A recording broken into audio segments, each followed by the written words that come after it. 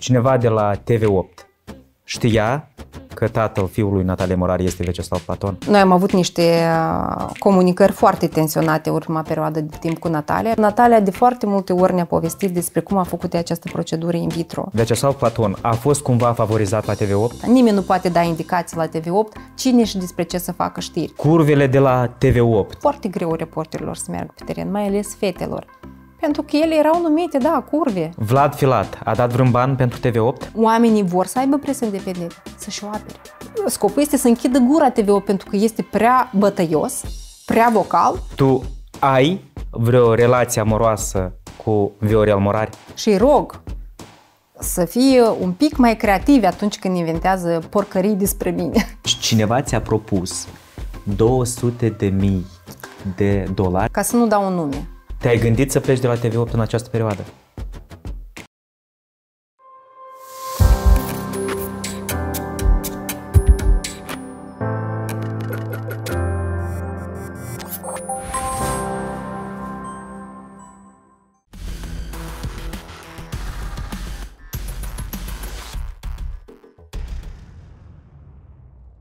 Mariana Rață este invitată interviului fără protocol de azi. Foarte mult timp ți-a luat să gândești. Eu, de fapt, te-am invitat practic imediat după ce a apărut uh, scandalul uh, Natalia Morar de Veceslav Platon. De ce atât de mult ai analizat propunerea mea? Ei, dacă ai văzut, noi nu ne-am plictisit între timp, atacurile au fost în continuu uh, și noi trebuiam să ne dăm seama ce se întâmplă, pentru că aparent a fost un scandal, după care i-a luat amploare și noi puteam să ne dăm, nu puteam și noi să ne dăm seama cine este ținta acestor atacuri, ce se urmărește de fapt. Acum lucrurile sunt uh, mai clare. De asta a durat. Dar aveai frică, aveai dubii că trebuie să vorbești, um, aveai semnale de la colegi care spuneau că ar fi mai bine să menținem distanța, să nu ieșim în public, să nu ne expunem mai mult? Uh, nu am avut frică. Noi pe intern am luat decizia în prima perioadă de timp să nu vorbim prea mult decât doar instituțional și asta este foarte uh, rațional de ce am luat această decizie, în condițiile în care oamenii erau ghidați de emoții, reacționau foarte emotiv la o veste care trebuie să recunoaștem uh, pe foarte multă lume a bulversat-o și pe noi ne-a bulversat. Uh, era greu să vii cu explicații raționale. Deci oamenii ar fi refuzat să creadă argumentele noastre care sunt adevărate, care pot fi probate. Și de aceea nu am zis, hai să lăsăm oamenii să se liniștească și să aibă capacitatea să gândească la rece și să înțeleagă ce s-a întâmplat la noi. Eu o să vreau să le luăm pe rând, dar înainte de asta, spunem cum a fost perioada uh, recentă sau ultimele săptămâni pentru tine și pentru echipă. Ai plâns, ai fost iritată, enervată, ți-a fost frică pentru ceea ce se întâmplă și că ai putea să-ți pierzi jobul și uh, TV8 să nu mai existe? În primul rând, oamenii care mă cunosc știu că eu sunt un tipaj de om uh, care în stare de stres nu plânge, dar se mobilizează. Așa sunt eu construită. Eu, uh, mie îmi vin idei foarte bune în perioada în care, în momentul în care sunt încolțită. Uh, eu sunt o luptătoare. Partea bună că și echipa noastră este identică. Noi suntem o echipă de oameni luptători. Evident, noi am comunicat pe intern uh, ca să explicăm oamenilor ce s-a întâmplat, ce măsuri am luat noi imediat, pentru că noi măsuri am luat din prima secundă în care am aflat, uh, uh, Natalia a confirmat niște bănuieli pe care noi evident le aveam deja. Uh, de aceea, pe intern, sigur că a fost tensionat. În primul rând, din cauza Facebook-ului și a rețelelor de socializare, plin de ură, care a curs peste angajații noștri și a făcut o presiune foarte mare asupra lor. Ce am făcut eu, în primul rând, evident, am stins, internet, am stins Facebook-ul. Eu n-am intrat să citesc valul ăsta de ură, pentru că știam foarte bine ce am făcut noi și ce avem de făcut în această situație. Wow, curios. Da, și nu vroiam, nu vroiam influențe care nu trebuiau să fie în acel moment asupra noastră. Fostă ta colegă Natalia Morari a confirmat printr-un mesaj pe Facebook că copilul său a fost conceput cu Veceslav Platon sau Veceslav Platon este ca, tatăl copilului său. Cum a fost atmosfera în redacție atunci când ați văzut acel mesaj? Uh, Natalia ne-a spus despre asta cu două zile mai devreme. Noi am avut niște uh, comunicări foarte tensionate urma perioadă de timp cu Natalia, pentru că deja erau prea multe evidențe uh, prea multe zvonuri legate de faptul că exista o relație între ea și Platon. De aceea noi de fiecare dată, cred că am avut vreo două sau trei ședințe uh, cu ultimele săptămâni în care o întrebam despre asta. E adevărat sau nu? Ea a negat de fiecare dată, a găsit diferite motive să zică că nu este adevărat. Natalia a venit și a recunoscut uh, pentru noi, da, uh, eram uh, într-o ședință, eu, director executiv al televiziunii Svetlana Buza și Angela Gonța, ea ne-a comunicat că toate aceste informații sunt adevărate și ea intenționează să plece din funcția de președinte al Consiliului de Administrare. Evident, în acel moment, Angela i-a spus, îți dai seama, nici emisiunea nu mai poate să rămână, va trebui să închidem emisiunea, tu nu mai poți să faci emisiuni despre politică niciodată, cel puțin nu la TV8, dacă te acceptă în altă parte, e problema ta, dar la TV8 tu nu vei mai putea face astfel de emisiuni. Natalia a fost de acord. Noi imediat după asta am convocat Consiliul de Administrare al Asociației ca să uh, discutăm de acest conflict de interese care, în premieră, a fost recunoscut la TV8. A doua zi a avut loc această ședință. La această ședință, Natalia și-a dat demisia din funcția de președinte a Consiliului de Administrare. Noi am sfătuit-o și am rugat-o foarte frumos să, plea, să plece și din funcția de membru a Consiliului de Administrare. Ea a plecat și din această funcție și uh, Natalia ne-a anunțat că a doua zi urmează să facă un anunț pe rețelele de socializare și va veni în redacție să vorbească și cu colegii cu care a lucrat până acel moment și care, cărora le datora niște explicații. Uh, din păcate, lucrurile nu au mai mers mai departe așa.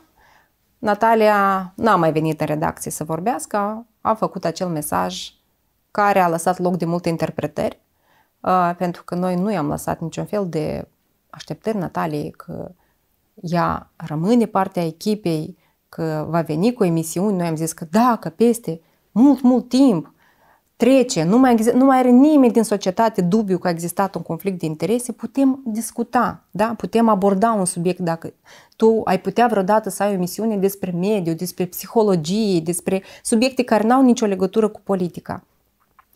Dar de ce să fac un mesaj în care a pus totul la oaltă? Și Platon, și TV8, și am plecat, dar revin. Deci foarte confuz, care trebuie să recunoaștem ne-a dăunat foarte mult. Voi ați avut o înțelegere cu Natalia atunci? Cum ea vorbește public despre asta? Voi ați vorbit despre faptul ca să nu aibă de suferit televiziunea, să-și asume uh, consecințele. Care a fost răspunsul? Deci faptul că Natalia a plecat din funcția de președinte a Consiliului de Administrare și a plecat din Consiliul de Administrare tocmai demonstrează că ea a înțeles că este important să se gândească și la televiziune. Aceste decizii au fost făcute nu de atâta că ea probabil foarte mult, sigur că nici ea nu vrea să plece. E un proiect la care am muncit foarte mult. Trebuie să recunoaștem de momentul fondării. Este una dintre fondatoare. Doar că ce a urmat după aceste proceduri, aici nu știu dacă s-a gândit la, s-a gândit la televiziune. Cred că mai mult s-a gândit la ea. E Pornind bine, de la mesajele parte publice. De hate foarte, foarte E adevărat, dar este ceea ce și-a, ceea ce și-a asumat. Tot mai des mă pomenesc că nu am niciun bănuț în buzunar deoarece prefer să utilizez cardul bancar sau plățile online. Pentru mine, deseori, modalitatea de plată este un criteriu esențial atunci când vreau să procur ceva.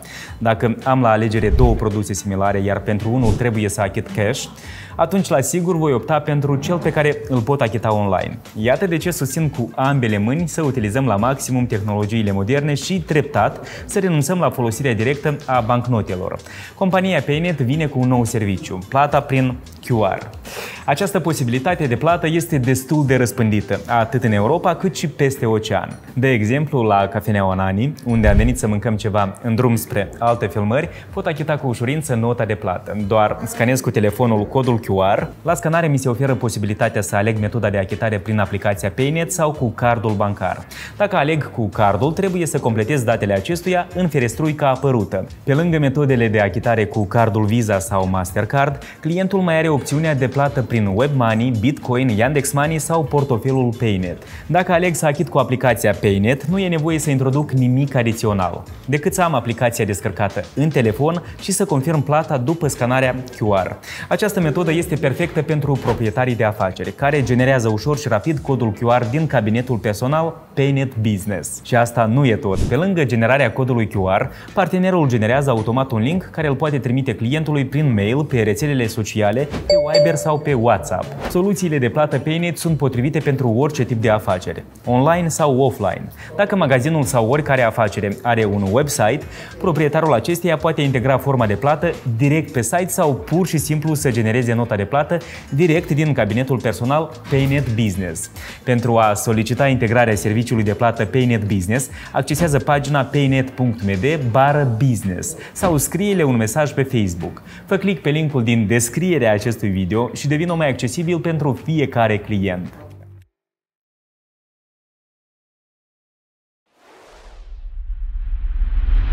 Nu pot să nu te întreb direct. Mariana, cineva de la TV8 știa că tatăl fiului Natalie Morari este Veceslav Platon? Uite, dacă este ceva care noi n-am avut niciun fel de bănuială, este faptul că tatăl copilului este Veceslav Platon. Noi niciodată nu ne-am fi gândit la asta. Pentru că Natalia de foarte multe ori ne-a povestit despre cum a făcut această procedură in vitro. Că a început-o mai devreme, că a început-o încă în Israel, a continuat-o așa. Deci noi nici cu spatele n-am putut bănui că acest, acest lucru este fals. Cu câteva zile înainte ca să se întâmple ce s-a întâmplat, eu am avut o comunicare cu cineva care este mm, bine informat din Republica Moldova, nu este angajat al serviciilor informații și securitate, deci SIS nu are nicio implicare, dar care mi-a spus că a fost făcute verificări la clinicile in vitro din Republica Moldova și ea n-a făcut nicăieri această procedură. Și atunci am întrebat-o direct, Natalia, uite ce mi-a spus mie cineva, că s-a făcut verificări, tu n-ai făcut procedura asta. Cum explici? Ce e asta? Vrem să înțeleg, tu ești șantajată de cineva? Ce se întâmplă? Pentru că noi ne temem de un pericol pentru instituția noastră. Și abia după acest mesaj, peste două zile, Natalia a venit și ne-a spus că tatăl copilului este Platon. Care erau argumentele până atunci? Tu zici că existau bănuieli de câteva luni. Nu, existau bănuieli. Bun, uh, că e ceva neclar în atitudinea Nataliei față de Platon, eu personal am început să am bănuieli încă din noiembrie 2020. Atunci când uh, Natalia uh, l-a invitat pe Platon la emisiune, cea de trei emisiuni, sau ultima emisiune pe care a făcut-o ea cu Platon. Ea a încercat să-l invite în ultima săptămână de campanie electorală, turul 2 al alegerilor prezidențiale. Noi am aflat cumva pe ultima sută de metri și am avut o discuție cu Natalia, între ei, eu, Natalia și uh, Svetlana Buza, directorul. Uh, și am întrebat Natalia care este logica să-l inviți pe Platon în ultima săptămână decisivă, turul 2 la prezidențiale. Ea a zis că el va vorbi foarte mult despre Plahotniuc, despre pericolul lui Plahotniuc pentru Republica Moldova, din mesajele din, ultima, din perioada aceea lui Platon, era clar că el dădea numai într-un, într-un candidat, da? El avea foarte mult în Maia Sandu. Noi nu, departe de noi gândul să o protejăm pe Maia Sandu, dar nici nu vrem să fim folosiți într-un joc de genul ăsta.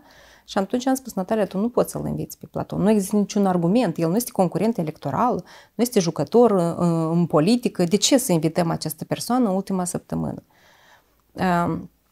Și Natalia a, a renunțat să, să-l invite în acea săptămână. Noi am zis că dacă îndrăznești, dacă o să faci, eu și Svetlana plecăm din instituție. Pentru că nu putem să admitem așa ceva. Natalia a, a făcut un pas în urmă. Emisiunea a avut loc peste două săptămâni după alegeri cu Platon și pentru noi era importantă acea emisiune ca să ne dăm seama ce se întâmplă, de ce insistă ea să aibă emisiuni cu a, această persoană. Uh, pentru că ea vorbea despre rating, vorbea despre valoarea informațiilor pe care le poate spune, despre fultul miliardului, despre alte scheme care au loc. Din emisiunea aceea noi n-am văzut nimic. Și atunci am avut o comunicare cu Natalia după emisiune și am zis, Natalia, noi n-am înțeles ce a fost emisiune. El te-a dominat, tu n-ai prea putut să, să ții pasul. Deci nu ai fost firească, așa cum te știm noi, foarte bună în emisiunile tale. Și atunci am rugat-o să nu mai invite niciodată Platon la emisiunile ei, să nu mai facă niciodată interviuri cu acest interlocutor și ea a acceptat. Uh, pentru că noi aveam niște temeri generale, deci noi nu aveam în momentul acela niciun fel de indiciu. Nimeni nu vorbea despre faptul că există o relație între oamenii ăștia. Eu n-am auzit cel puțin în acea perioadă astfel de bârfe. Uh, pentru ca să securizăm politica editorială a postului de televiziune, pentru că trebuie să înțelegi, TV8 nu este un om. Și în general TV8 nu sunt oameni, da? Deci oamenii contează foarte mult în această instituție, dar instituția asta are structuri interne și mecanisme care funcționează, reguli după care uh, muncește și își face activitatea această instituție. Eu am mers la bordul uh, Consiliului de Administrare al TV8 și am cerut instituirea uh, unei funcții noi, funcția de senior editor, persoană responsabilă de politică editorială a postului de televiziune, care să vegheze așa, macro, da? Ce se întâmplă la, la, la televiziune, astfel încât să fim, să respectăm valorile pe care noi ne le-am sumat. Uh, Consiliul de Administrare a acceptat propunerea mea. Uh, le-am propus, haideți să alegem o persoană, decideți voi cine să fie. Consiliul m-a votat unanim pe mine în această funcție. Imediat după asta eu am avut ședințe cu șefii de departamente care au treabă cu politică editorială, știri online, producători de, știri, de emisiuni în care am discutat despre faptul foarte clar. Deci, Platon nu poate fi invitat la TV8. Suntem foarte atenți cum tratăm subiectele care îl vezează pe această persoană. Nu facem știri din declarații prin care el atacă oameni, pentru că noi nu facem știri din faptul că anumite persoane cu o, o reputație dubioasă atac, care sunt, nu sunt din politic, nu sunt demnitari de stat, atacă alți oameni. Da? Noi nu facem, în general, jurnaliștii nu fac astfel de știri. Natalia era prezentă la aceste discuții? La discuțiile cu șefii de departamente nu. Deci Natalia în perioada asta deja venea foarte rar la TV8 era deja prea însărcinată, era în ultima fază înainte de naștere. Asta și se întâmpla în primăvara Asta anului... se întâmpla în martie. Martie 2021. Uh, da, Natalia a plecat după asta în concediu. Deci noi ne-am asigurat, tot la cele discuții, uh, am rugat șefii de departamente să se asigure, deși regula asta este veche și de, de când s-a pornit televiziunea, că nimeni nu poate să influențeze, nimeni nu, nu le poate sugera, nici eu, nici Natalia, nici directorul televiziunii nu poate să le vină să le spună fă o știre despre asta. Nimeni nu poate da indicații la TV8 cine și despre ce să facă știri. Noi am avut cazuri în care uh, echipa de la știri nu a fost de acord cu opiniile noastre și a făcut așa cum vor ei, chiar dacă noi aveam o altă părere. Au zis, noi avem libertate editorială, așa că noi o să facem așa cum noi considerăm de cuvință. Veronica Gerbovețchi este o, un director de știri foarte dur, care știe să, ca un câine de ăsta rău, care știe să-și apere echipa, ceea ce este minunat. Dar atunci am mai atenționat odată, vă rog frumos să fiți atenți Nimeni nu vă poate influența, nimeni nu vă poate sugera cum să tratați anumite subiecte.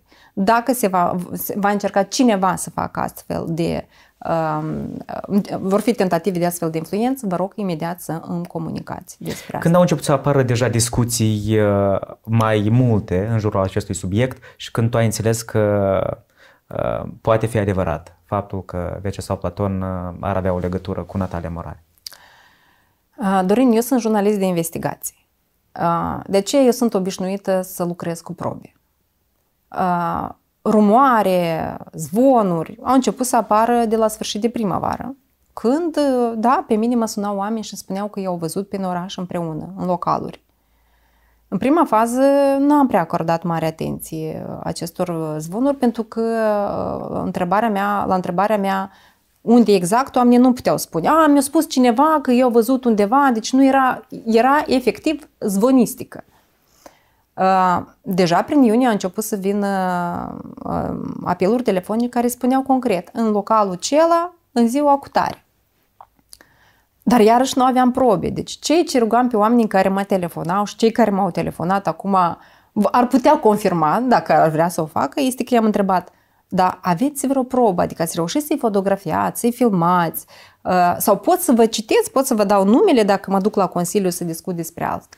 Toată lumea a zis că nu are nimic, nimeni nu a vrut să-și dea numele, e doar pentru tine, te rog să păstrezi asta anonim. Deci eu ce să fac cu chestiile astea anonime? Evident, ceea ce am făcut a, a, pe intern era să fiu foarte vigilentă ca nu cumva să poată fi influențată politica editorială. Eram foarte atentă la pe cine invită Natalia în emisiune. Natalia deja știa, noi aveam discuții în care vorbeam despre faptul că Platon nu poate fi menajat nici sub o formă. Uh, ea era și atentă la emisiunile pe care le, le făcea. În principiu nu aveam de ce să mă leg de emisiunile ei. Uh, prima probă a apărut atunci când Platon a publicat uh, poza pe, pe profilul de Facebook al lui Platon, a apărut poza copilului Evident, noi am recunoscut copilul în acea poză, imediat am convocat Consiliul de Administrare. Spuneam și insist, TV8 avea nevoie de o probă ca să poată avea o discuție instituțională. Pentru că noi suntem instituție, noi nu reacționăm la zvonistică. Dacă nu am reacționat la zvonuri, într-o săptămână dai afară toată televiziunea. Faci carizia, ataci mai întâi pe una, că nu știu ce faci a doua și după zvonuri curățăm televiziunea și o facem așa ce cum vrea. atunci? Da. Am, am convocat Consiliul de Administrare, am întrebat-o la Consiliu pe Natalia despre această poză. Ea a explicat că din întâmplare a apărut că a transmis-o unui cunoscut care este, nu știa ea, ea că este administrator al paginii de Facebook uh, al lui Platon uh, și el din întâmplare a pus-o acolo, dar nu, adică nu are, ea n-a transmis niciodată lui Platon astfel de poze. Și vouă vi s-a părut credibil acest argument? Nu, nu, nu ni s-a părut credibil acest argument. Uh, de aceea noi pe Natalia uh, am rugat-o atunci, încă o dată, foarte insistent, ca Natalia să nu mai trateze nimic. Pentru că există bănuieli, pentru că uh, nouă nu ne este clar cum a avut loc acest incident, noi am rugat-o să nu mai facă emisiuni nici cu Platon, nici cu persoane care într-un fel sau altul ar putea reprezenta interesele acestuia, sau să abordeze în discuții cu alți invitați subiecte care ar putea fi în interesul lui Platon. Și Natalia a acceptat. Știați că Italia este țara care posedă circa 60% din totalul patrimoniului cultural al lumii. Eu am fost de câteva ori în Italia și pur și simplu am rămas încântat de oameni, de priveliști, de stilul vestimentar, dar și cum sunt amenajate locuințele italiene. Dacă și tu, ca și mine, ești un mare amator al calității italiene în materie de mobilier și accesorii, atunci neapărat trebuie să ajungi la Casa Cheia, care aduce Italia în casa ta. Compania are un showroom de 2000 de metri pătrați de mobilă italiană în Chișinău. Aici poți găsi orice mobilier modern sau clasic în diverse nuanțe. Consultanții îți vor fi alături ca să te ajute să alegi mobila pe gustul și, cel mai important, pe buzunarul tău. La Casa Chei mai poți și să comanzi mobilă, să alegi dimensiunile, finisajul și modelul dorit din cele peste 100 de branduri italiene cu care colaborează. În showroomul Casa Cheie de pe strada Uzinilor 205 1 poți vedea dormitoare, saltele super comode, uși, mobilă pentru living, mese și scaune, canapele, fotolii, mobilă pentru oficiu sau pentru camera copilului. Fă click pe linkul din descrierea acestui video, admiră ofertele celor de la Casa Cheia, alege ceea ce îți dorești de mult și bucură-te de calitatea italiană în propria casă.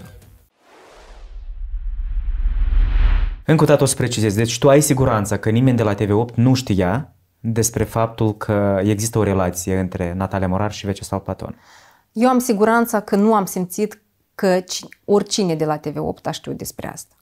Angela Gonța, ele erau foarte bune prietene. Ai siguranța că nu era la curent despre asta? Angela ne-a, ne asigurat că ea n-a știut nimic. A fost un caz în care uh, fetele au ieșit în oraș a stat într-un local și Platon s-a apropiat, nu știu cum brusc a apărut în același local și el, s-a apropiat și a așezat cu ele la masă.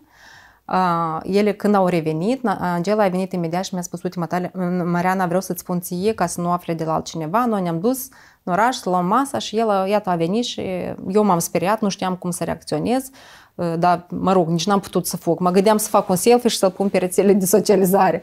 Dar, pe urmă, m-am răzgândit. Dar vreau să știi că, iată, noi eram și el s-a apropiat de noi. Și asta nu i-a dat de bănuit atunci Angele? Uh, Angela zice că nu. Eu nu am motive să o bănuiesc pe Angela că ea ar minți. Pentru că ce se întâmplă în aceste zile cu Angela este foarte strașnic. Ce se întâmplă? Aceste atacuri care au loc uh, asupra ei, aceste mizerii care se toarnă în cap, o afectează foarte mult, evident. De fapt, voi ambele sunteți acum uh, ținta. Da. Dar o să ajungem și la asta. Deci tu și Veceslav Platon uh, locuiați în blocuri apropiate sau el ce puțin are apartament? Noi uh, locuiam din vara anului trecut într-o curte, în blocuri uh, separate, deci în două blocuri care se află între aceeași curte, da. Uh, există voci care spun că Natalia mergea la el acolo. Și respectiv sunt oameni care cu greu cred că tu nu ai văzut acolo, fie mașina Nataliei, fie pe Natalia să o vezi. Cum e posibil acest lucru? Tu cum explici? Uite, eu exact asta am întrebat. Când am aflat deja, când ea ne-a spus despre toate aceste lucruri, evident, Rize a apăruse cu aceste detalii că se vedeau în acel bloc. Nu că Platon nu și-ar fi permis să aibă și o altă locuință în care să se vadă. Dar am întrebat-o pe verișoara Natalie, zic, cum a fost posibil, știind că eu locuiesc în, în aceeași curte, să meargă acolo? Adică nu se temea că eu aș putea să-i văd, să... Adică, asta înseamnă că efectiv mă a scuipat pe mine, da? Nu-i păsat de ce aș putea eu să cred. Nu, eu n-am văzut-o niciodată pe Natalia în acea, în acea, în acea curte. Ce a răspuns verișoara ei? Ea a zis că na, nici ea nu înțelege cum, de ce a făcut acest pas. Mai există o ipoteză că acest copil este rezultatul, nu știu, o relație de scurtă durată și că nu exista o relație eu nu pot să mă apuc să judec despre, mai departe despre viața privată a Nataliei. Eu chiar cred că asta nu mă privește pe mine și nu ar fi deloc profesionist ca să vorbesc. În momentul în care tu ai întrebat-o direct pe Natalia, de ce ai făcut asta cu noi?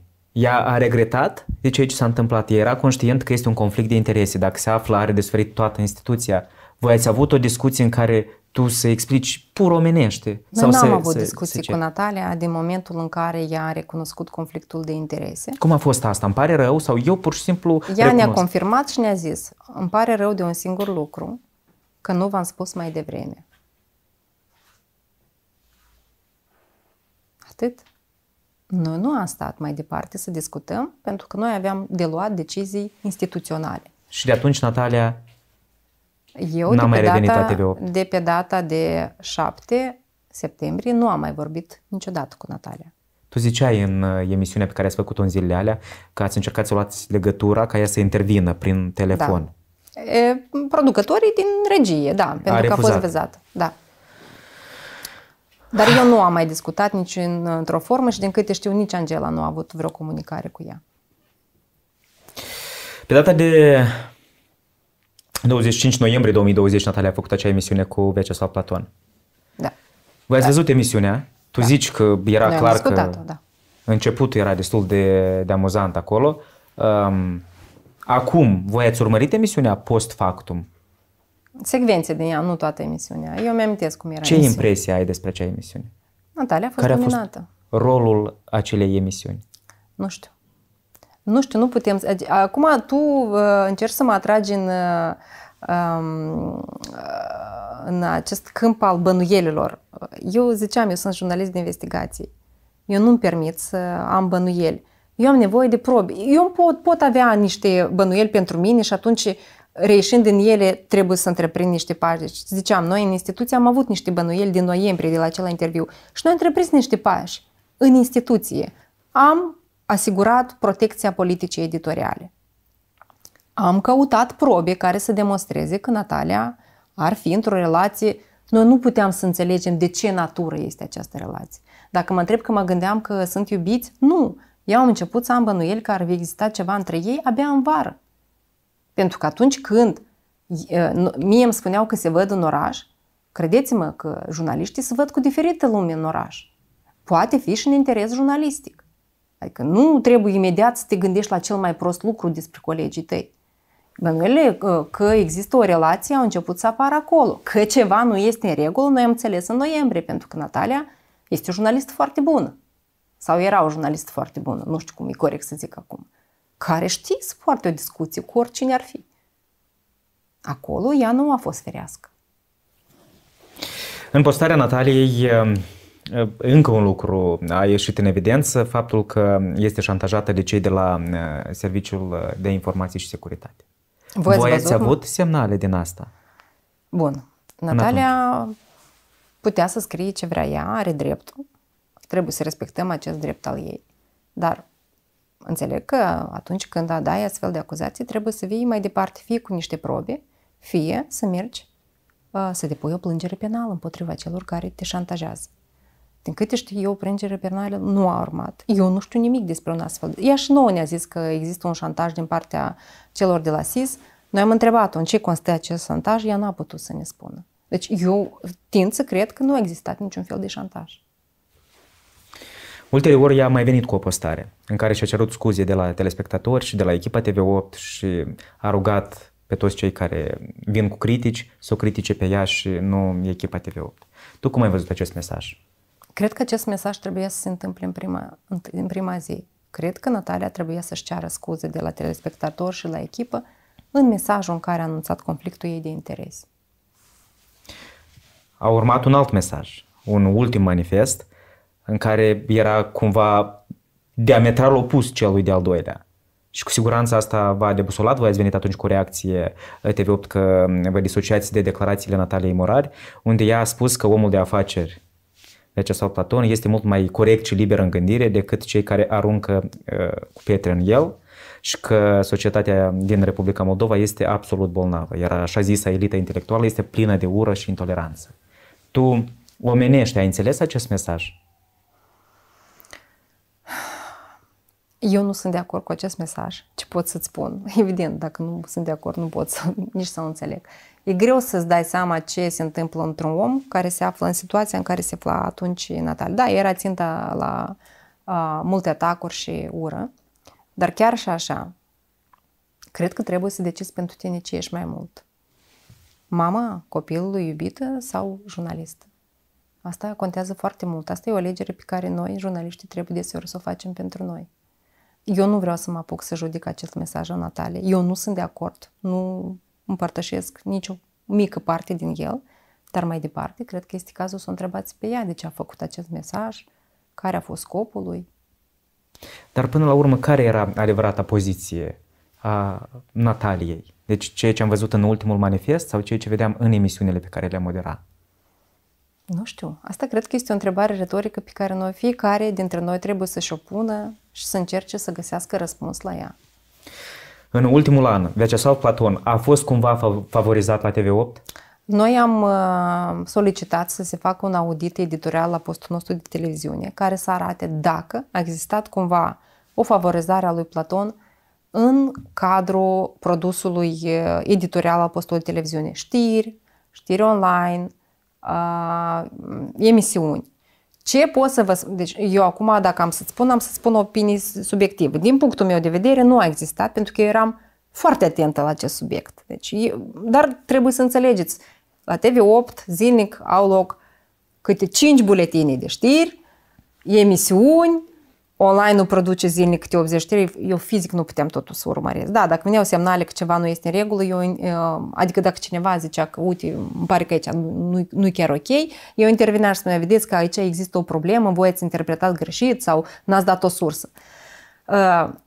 Ce pot să-ți spun cu siguranță este că la emisiunea Cutia Neagră, Platon întotdeauna a fost tratat așa cum merită.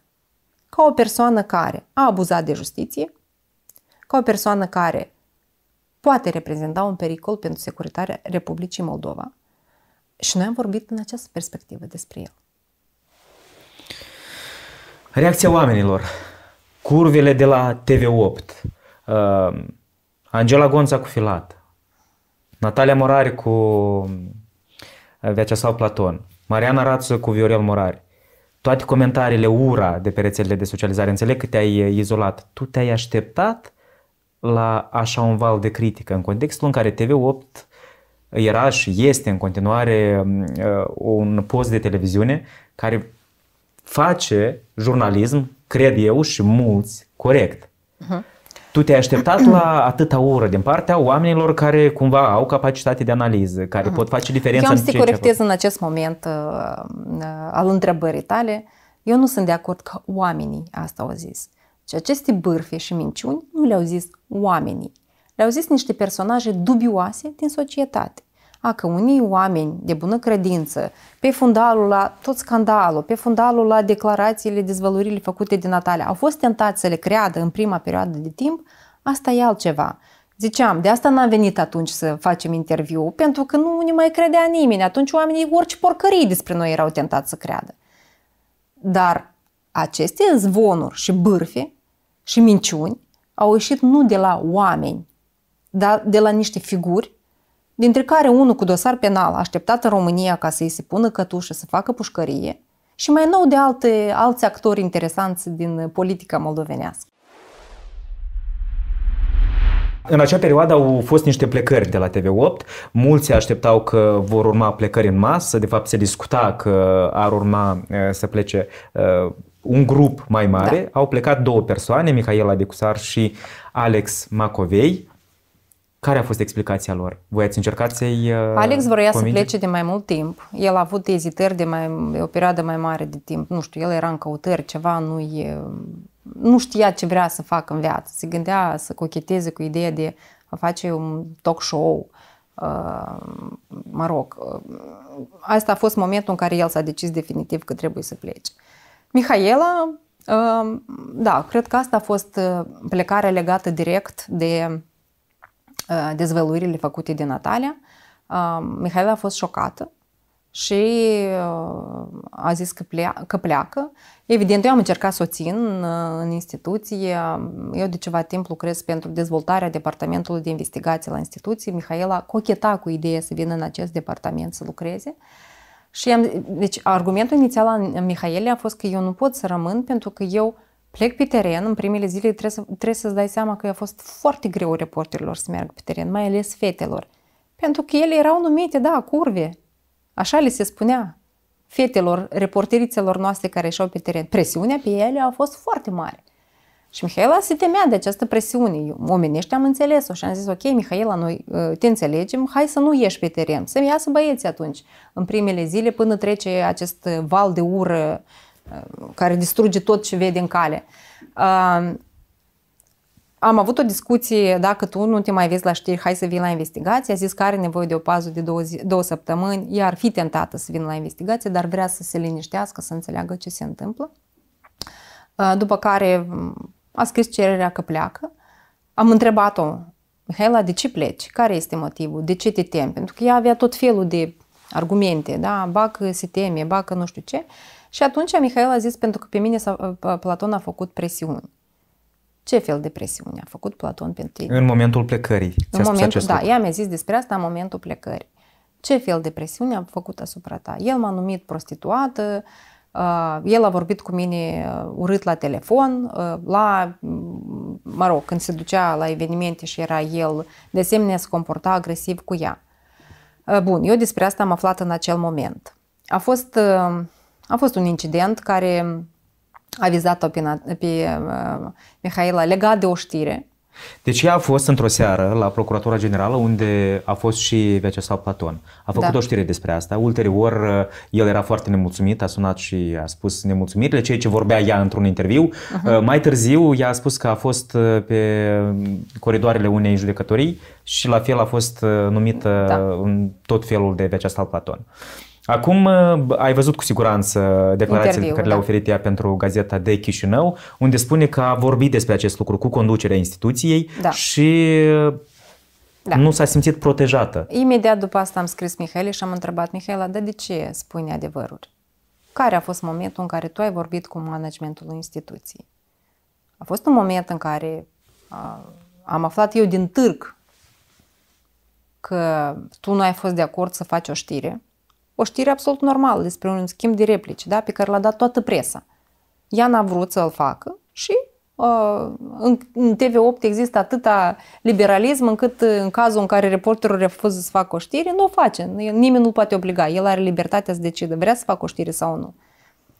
Dar ea n-a comunicat despre acest caz. Eu am aflat din târg și m-am dus și am întrebat-o, Mihaela, ce s-a întâmplat? Nimic, nimic. Nu, eu vreau să insist pentru că pentru mine e important să înțeleg ce se întâmplă în instituția noastră. Și atunci mi-a zis despre faptul că um, uh, um, i s-a dat să facă o știre despre un schimb de replici dintre Maia Sandu și Platon. Și el n-a fost de acord să facă. Eu am avut uh, o închetă internă în care am vorbit cu toată echipa să înțeleg de ce au decis să facă știrea, dar știrea asta a făcut să toată presa, au făcut și jurnalul, și ProTV-ul, toți. Deci singurii care ne-am autocenzurat, pentru că eu le-am zis că nu mai faceți astfel de știri, în general nu-l tratați pe Platon în știrile de la TV8, că este un subiect sensibil pentru instituția noastră, au fost ai noștri. Uh, deci asta a fost singura discuție cu Mihaela. Mihaela știa că poate să vină la mine să vorbească, pentru că ea știa că eu am luat atitudine pe primul caz. Eu am făcut o anchetă internă să înțeleg ce se întâmplă, de unde și până unde s-a făcut acea știre. Uh, de ce n-a venit ea să comunice managementului despre faptul că spunea s-a făcut presiuni, eu nu știu. Dar acum vreau să te întreb altceva. Tu ești jurnalist. Uh, ți s-a întâmplat să fii intimidat de către oamenii pe care, cu care trebuie să faci, le iei replică, să Siguranță. vorbească urât cu tine? Am fost sunat la 1, 2, 3 de noapte. Da. Uh, mi s-a vorbit în tot uh, felul, uh, doar că eu nu am luat asta ca amenințări. Da, ca pentru că ăsta discuții este naturale. riscul meseriei noastre. Credeți-mă, eu primesc multe apeluri, multe uh, presiuni din partea oamenilor care sunt vizați în materialele mele, în care îmi scriu că sunt cumpărată, că sunt curvă, că nu știu ce mai sunt. Multe astfel de lucruri. Asta este riscul meseriei noastre. Deci, așa cum pompierul când se duce să stingă incendiu riscă să uh, își piardă viața, iată așa jurnaliștii când fac materiale incomode, da, unor indivizi dupioși, riscă să primească astfel de uh, replici dure și tăioase. Eu vreau să Trebuie punctăm ne aici. asumăm. Deci, la întrebarea de la Gazeta de Chișinău, cine dintre superiorii tăi știau despre atacurile lui Platon asupra ta, um, Mihaela a răspuns în felul următor. Veronica Gerbovețchi și Mariana Rață. Mariana a spus că vor avea o ședință unde vor discuta. La ultima ședință cu reporterii eu am mai întrebat odată dacă este sau nu vreo implicare a lui Platon la TV8 și Veronica mi-a spus că a vorbit cu Natalia Morar și că în aceea a zis că nu este nimic, adică nicio implicare. Da. Deci, dacă ea a folosit numele meu aici, putea să o facă doar în contextul pe care ți l-am spus. În momentul în care eu, din afara instituției, am aflat despre acest incident care a avut loc. Am discutat cu Mihaela, am discutat cu Galina, producătoarea de la știri, am discut... deci pe, am mers pe lanț, am discutat cu Veronica, am avut acele ședințe. Da, eu am spus că urmează să discut cu fetele, să am ședințe, să înțeleg ce naiba se întâmplă. A fost discuția asta, dar pe un episod, deci legat de o știre. Mai departe, Mihaela n-a venit niciodată să-mi spună despre faptul că pe ea cineva face presiuni. Uh, Dacă i-ar fi venit ce am fi făcut noi ca instituție, acum mi-e greu să-ți răspund, pentru că, evident, dacă se fac presiuni, uh, dacă există risc pentru viața, securitatea uh, angajatului nostru, televiziunea este obligată să reacționeze, să-și protejeze angajații. Dar atunci când ni se vorbește urât, Scuzați-mă, dar noi ați văzut și din reportaje, noi suntem băgați și trimiși, oh, cu cea mai mare plăcere și la Parlament. Deci Asta tu nu e știai riscul. că Platon a sunat-o, a amenințat-o, a numit-o prostituată și a avut o atitudine foarte urâtă în prezența inclusiv a altor Eu reporteri. n-am știut. Veronica, noi am avut după asta o discuție cu Veronica și am întrebat-o. Veronica, tu ai știut? Și a zis, da, ea ne-a spus despre aceste cazuri, dar uh, pentru că noi, înțelegi, asta se întâmpla în perioada în care noi nu știam despre legătura Natalie cu, cu Platon. Uh, acum, privind lucrurile, ele sunt grave. În acel moment, un Platon care este foarte obraznic, haideți să recunoaștem, așa este felul, vorbește urât cu o jurnalist. Asta e felul lui de a fi, așa se comportă el, așa se întâmplă. Da, noi suntem jurnaliști foarte uh, puțin protejați de, de lege, da? pentru că, iată, noi vedem ce se întâmplă în aceste zi- zile, în care noi suntem făcuți una cu pământul, uh, calomniați și uh, distruși, da, ca imagine. Instrumentul de, cu care putem să ne apărăm este instanța de judecată. Asta durează ani de zile. Iată cum poate să protejeze un jurnalist în Republica Moldova atunci când este atacat. Să vorbim despre cum funcționează pe interior TV8 și mă interesează inclusiv sursele de, de finanțare.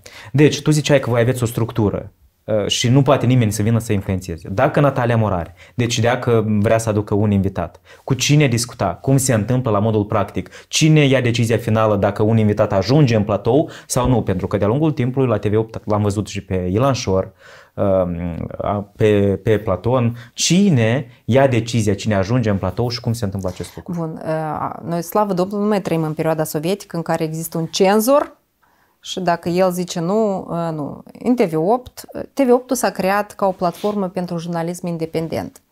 Când pornești astfel de proiecte, primul lucru pe care te bazezi este încrederea reciprocă. Tu trebuie să crezi în oamenii cu care pornești la drum. Noi am fost uh, cinci oameni care am pornit la drum, care am fondat TV8, da? Pe rând, mă rog, au mai plecat. Primul om a plecat Ion Terguță pentru că s-a implicat în politică, un conflict de interese evident și imediat băiatul și-a depus uh, cererea de demisie și a plecat cu totul din instituția noastră. Am rămas uh, Igor Boțan, eu, fondatoare, Natalia și Cristina Guț. Uh, dacă ar fi fost neîncredere totală între noi, noi n-am fi putut porni acest proiect, TV8 n-ar fi existat. Toată lupta noastră cu oligarhia n-ar fi existat. Acum știu că unii încearcă să șteargă tot trecutul TV8. Nu, această instituție efectiv nu a avut viață până la momentul uh, zilei de 8 septembrie. Nu, haideți să ne amintim că această televiziune a avut o contribuție enormă în perioada în care Plahotniuc deținea puterea în stat. Această televiziune a fost vocală când alții se ascundeau pe sub mese și nu vreau să vorbească. Noi ne-am asumat niște riscuri. Da, ele existau și atunci noi eram urmăriți, eram monitorizați, eram interceptați, riscuri pe care ne le-am asumat pentru că făceam jurnalist de calitate. Acum să răspund la întrebarea ta legată de faptul cine decide cine. Fiecare invitat, fiecare producător împreună cu moderatorul de emisiune decide pe cine să invite la emisiune. Dacă e vorba de cazuri sensibile, da, cum este Ilan Șor sau cum este Platon... Marina Tauber, se... mai sunt oameni... Bun, uh, Marina Tauber este deputată. Oameni buni, haideți să înțelegem că noi trăim, nu putem să mai trăim atâta pe baricade. Dacă îți asumi ca jurnalist că faci muncă corectă, echidistantă și obiectivă, tu trebuie să chemi toate părțile. Vă imaginați situația în care să chem la televiziune doar o parte? Atunci care ar fi fost problema cu Platon? Cu Platon, problema era că acest om este controversat. El nu este nici demnitar de stat, nici funcționar public. De ce să chemi o persoană de acest fel, controversată tare, ziceam, pentru ce să-l inviți? Același lucru ori a fost face și cu Vlad Filat. Vlad Filat în închisoare. Vlad La Filat în închisoare și Vyacheslav Platon în închisoare sunt niște cazuri uh, absolut normale, uh, interviuri pe care orice jurnalist din Republica Moldova și-ar fi dorit să le facă. Și în momentul în care noi am depus cerere să mergem acolo, credeți-mă, acolo erau mulți care au urmat după noi, care au depus cereri, da? Și ProTV, și jurnalul, deci mulți jurnaliști care au vrut să facă aceste interviuri. Da, oamenii ăștia au fost închiși pe patru ani de zile, Eu nimeni nu i-a auzit. Eu sunt de părere da. că toți au da. loc într-o redacție, într-o instituție de te- televiziune independentă. Deci, în momentul în care există o corectitudine în abordare. Exact, asta Voi... e ceea ce contează. De ce? Cât de corect și obiectiv ești tu în emisiune. Menajezi un invitat, sau ești dur cu el și pui întrebări incomode? Ești tu prea blând? Ești tu prea dur? Aici e altă problemă, da? Că uneori oamenii urăsc așa atât de mult uh, uh, anumite personaje că sunt tentate să bagi cuțitul în el. Tu faci jurnalist. Dacă ai întrebări incomode pe care să le adresezi, da, le adresezi. Dar Curiozitatea mea, dacă ce... tu vrei să aduci pe cineva da. uh, și uh, echipa nu este de acord, tu poți aduce Se acea discută. persoană? Se discută, uh, nu, nu pot să zic sigur că pot să aduc acea persoană, trebuie să aduc argumente. Acolo se întâmplă discuții foarte serioase. Legat de invitația lui Ilan Șor la televiziune, noi am avut discuții serioase pe acest subiect. Uh, este controversat, foarte controversat. Eu i-am dedicat atâtea investigații lui Ilan Șor să fie el sănătos, să facă atâția ani de pușcărie. Uh, dar era interesant să apară el, fugar fiind, să apară la un post de televiziune în care să-i se pună întrebări incomode. Nu la televiziunile lui și nu acolo unde e, moderatorii citesc de pe foaie întrebările scrise de echipa lui Șor. Cred că da. Noi am avut discuții serioase despre asta. Facem acest interviu? Nu facem. S-a luat decizia, înțelegând riscurile care sunt, să facem interviu. Pe partea de interviu în care a fost vorba despre furtul miliardului și, mă rog, actele de corupție în care a fost implicat Elan Șor, eu am fost în regie, eu i-am șoptit Natalie o bună parte din întrebări, pentru că, mă rog, i-am făcut investigații, eu cunosc foarte bine pe acest personaj.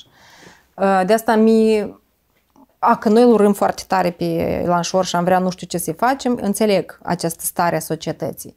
Dar întrebările au fost dure și la subiect adresate. Cât Dacă ați văzut, el la un moment dat îi cădea casca, nu prindea internetul, deci era gata să se deconecteze. Cât de mulțumită ești de acel interviu? Bun, nu este interviul meu, acum fiecare da, dintre da, noi da. ar putea nu, să spună... De acea prezență la, uh, a lui Ilan Șor uh, la TV8. Eu cred că este un subiect foarte um, uh, contradictoriu, da? Trebuie astfel de persoane să, să, să vină la televiziune și să vorbească sau nu. Uh, dacă el n-ar fi avut funcția de deputat, eu cred că n-are ce căuta la un post de televiziune. Dar el este președintele unui partid care adună voturi la alegeri și ajunge cu mandate de șase mandate în Parlament. Deci, noi nu putem ignora oamenii care reprezintă un pericol, că dacă ignorăm noi tot și nu vorbim despre ei că sunt răi, rămâne presa lor care vorbește despre cât de buni sunt ei. Asta a fost argumentul pentru care l-am chemat eu pe Nichiforciuc la emisiune. Deci Nichiforciuc se ducea la emisiune în care era amenajat.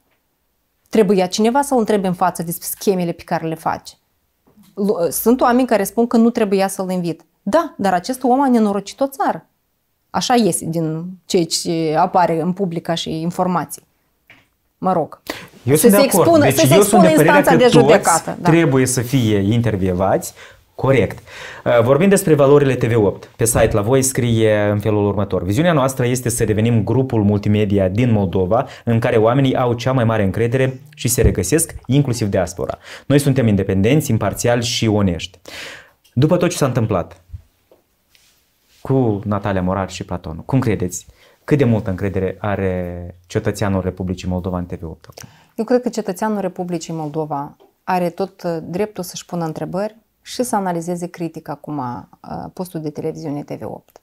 Dar ceea ce recomandă eu cetățeanului să aibă capacitatea să facă deosebire între ce a făcut Natalia Murari la un moment, anumit moment al vieții ei, ce a făcut ea în alte momente ale vieții ei și să vadă separat postul de televiziune TV8. Pentru că este absolut greșit să trateze instituții din perspectiva unei singure persoane. TV8 este o instituție în care nu vine nici Natalia, nici Mariana, nici nimeni altcineva să dea indicații ce să se facă. Ia pe rând pe oricine din de angajați instituții. Toată lumea o să-ți spună. Sunt, erau situații în care mie, colegii îmi spuneau, du mă, înțeleg că ești fondatoare, dar eu știu ce am de făcut mă rog, îi rogam să ducă la vreun eveniment de Asta asta e gândirea normală să, și rațională, să, da. dar tu știi foarte bine cum funcționează uh, gândirea de masă. În momentul Da. în care apare un asemenea scandal, uh, încrederea într-o Noi instituție știm că avem de lucrat ca să... se dem- ștergește. Noi înțelegem că avem de lucrat astfel încât să recâștigăm uh, încrederea publicului. Acest lucru s-a întâmplat fără voia noastră și fără implicarea noastră. TV8 nu a știut despre uh, conflictul de interese a Natale. Exact în momentul în care TV8 a obținut probe și a fost confirmat acest conflict de interese, da, TV8 imediat a acționat ca și instituție și lucru pe care vreau să-ți spun că noi am avut multă comunicare în ultimul timp, inclusiv cu donatorii, inclusiv cu partenerii de dezvoltare uh, și le-am explicat toți pașii pe care ți-am explicat și ție un pic mai așa, destul de detaliat mai devreme. Toată lumea asta a apreciat rapiditatea cu care noi am acționat am, uh, ca și instituție, da? Pentru că Natalia nu era o simplă prezentatoare la TV8, era una dintre fondatoare. Știi tu alte cazuri în care a fost posibil atât de rapid să se disocieze o instituție de fondatorul său? Nu, altă soluție nu aveați. Nu aveam, dar crede-mă că se putea întâmpla să dureze mult mai timp uh, mult mai mult timp. Noi am făcut-o foarte, foarte rapid. Deci asta înseamnă că mecanismele interne există și au funcționat. Că există probleme legate de anumite mecanisme uh, cu politica editorială? Da. Acum înțelegem că există. Deși noi suntem singurul post de televiziune care are politică editorială elaborată, da? Cod de etică plasat pe site-ul instituției ca să-l vadă toată lumea, cod de etică în fiecare campanie electorală, că E tot bine, în lucrez pe ele. cazul uh, Acum- Nataliei înțeleg că uh, nu a contat acest. Pentru că totul se bazează pe încredere. Deci, în momentul în care tu știi despre un conflict de interese, tu știi cum să acționezi. În momentul în care el este ascuns, noi nu suntem detectivi. Oamenii care vin dimineața la TV8 nu sunt întrebați unde ai dormit noaptea și cu cine. Îți dai seama dacă am ajunge să facem asta. Natalia a semnat contracte în care, de, de muncă în care scrie uh, și chestii legate de conflictele de interes. Ea a aprobat acest cod de etică. Totul este pe bun simț și pe bună încredere, exact ca și cu, uh, dacă vrei, uh, cod rutier, da?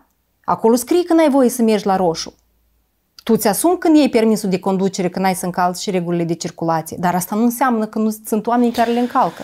Și atunci vine penalizarea, ceea ce s-a întâmplat și la noi. A încălcat, s-a penalizat. Uh, Acum, uh, noi suntem într-un proces de muncă cu uh, mai mulți experți de la BBC, uh, care se uită peste politica editorială a postului de televiziune, peste actele interne instituționale, peste organigrama instituției, ca să identifice vulnerabilitățile, pornind de la acest precedent pe care l-am avut noi și să, să vină cu soluții ca să consolidăm mecanismele interne astfel încât să nu mai poată fi posibil astfel de precedente. Da, ă, am să, am să mă repet, astfel de incidente se pot întâmpla oriunde. Cine știe, poate și ele sunt în alte instituții mass media, dar sunt ascunse. Întrebarea este cum acționezi în momentul în care afli despre ele. Mariana, ă, da, în această perioadă, uh-huh. tu te-ai gândit să pleci de la TV8 în această perioadă? Nu. Nu. De ce să vreau? Am avut un moment de ezitare în vara anului trecut, legat de alte chestii, nu de, că ziceam, nu aveam nicio bănuială legată de Natalia și Platon. Era vorba de alte chestii, dar atunci am decis că trebuie să rămân la TV. Este important să fiu în această instituție. Dar de când s-a început acest scandal și toată această nebuneală, eu am avut mereu un singur gând. TV8 înseamnă peste 100 de oameni care muncesc acolo. Eu nu am dreptul să mă gândesc la altceva decât cum facem să salvăm în televiziunea, să recăpătăm încrederea oamenilor în noi. Sursele de finanțare ale TV8. Din ce bani funcționați? Pentru că am văzut pe site aveți uh, menționate 38 de proiecte da. și sumele variază între câteva mii de euro dolari la câteva sute de mii de euro da. dolari. Fie pentru tehnică, uh, din, din ce rezistă această televiziune? Doar această, din granturi? Nu. Această televiziune are mai multe surse de finanțare. Uh, principala sursă de finanțare sunt granturile. Da? Deci noi lucrăm cu uh, granturi care sunt oferite de uh, mai multe state, da? Departamentul de stat al SUA, uh, Marea Britanie, Olanda, mai multe state din Uniunea Europeană fonduri create de uh, uh, Uniunea Europeană, uh, Soros, deci sunt mai multe Lista, vezi uh, cât de transparent suntem, tu ai putut să găsești nu doar lista donatorilor noștri, dar și câte sume și când ne-au fost oferiți acești bani. Asta reprezintă în principiu uh, cam 65% din uh, veniturile televiziunii. Restul banilor sunt acoperiți din activitate comercială. Sigur, noi ne-am dorit să avem o pondere mai mare a veniturilor de, la, de pe Patreon, uh, pentru că avem și uh, un cont Patreon, dar acum... Oamenii care donează. Da. Au scăzut acum donațiile, înțeleg. Au scăzut un pic, dar știi ce este uh, frumos? Că în timp ce unii au decis să se retragă, noi nu ne supărăm pe ei pentru că înțelegem prea bine. Uh, atunci când ai atât de mult încredere în oameni sau într-o instituție, este evident că o să ai și, că și de dezamăgirea va fi pe măsură. De asta înțelegem Unii s-au dezamăgit și alții au venit, înțeleg. Alții au venit, iar unii care erau donatorii noștri și-au mărit contribuția. Cât aveți acum de pe Patreon? Acum nu pot să spun, trebuie să mă aud exact cât este. Oricum e ponderea mică, pentru că sunt mulți da, oameni ziceam, asta, din păcate ponderea este foarte mică. Bun, mai avem venituri de pe YouTube, canalul nostru pe care îl avem, dar iarăși astea sunt niște venituri uh, care... Uh, sub un procent, da? care nu, pot, nu, nu poți să zici că sunt niște contribuții serioase la buget. Salariile sunt oferite la zi? Da. Noi am avut în trecut perioade în care, știți, asta a fost anul 2018, încă o dată precizez, că știu că sunt colegi care și acum au, așa ca bătrânii, pe timpuri era mai bine sau mai rău. A, la TV8 nu-ți dădeau salarii. Da, în anul 2018 a fost un moment de criză gravă, când noi jumate de an am putut da salarii. De atunci n-au mai existat astfel de caz. Care a fost reacția finanțatorilor în urma acestui scandal? Noi înțelegeam foarte bine ce avem de făcut. Evident, finanțatorii, donatorii, da? erau uh, uh, un public țintă important cu care trebuia să comunicăm. De aceea noi am mers imediat și am comunicat cu ei. Cred că ei sunt primii care au primit uh, mesaje de la TV8 legate de ceea ce, uh, ce s-a întâmplat, că Natalia se retrage din cauza unui conflict de interese. Ne-am întâlnit cam cu toți donatorii, uh, le-am am discutat cu ei, am explicat pe larg ce s-a întâmplat, cum s-a întâmplat, ce măsuri a luat, de când au început aceste bănuiele ale noastre, ce, ce um, intenționăm să facem pe viitor, cum avem de gând să scoatem instituția din criză. Pentru că, chiar dacă lovitura a fost foarte puternică asupra TV8, uh, instituția a știut foarte bine imediat să se organizeze și să, uh, să-și se, uh, seteze un plan de acțiuni pe care să-l uh, aplice, astfel încât să ieșim cât mai curând și cât mai bine din această criză. Da? Inclusiv noi am contractat companii care să ne ajute pe partea de PR, de administrare a acestei situații de criză fiind conștienți de ceea ce urmează. Evident, deci noi nu suntem niște uh, uh, naivi. Noi înțelegem ce înseamnă lovitura asta. Înțelegem ce înseamnă criza de imagine care va trebui cumva să fie administrată.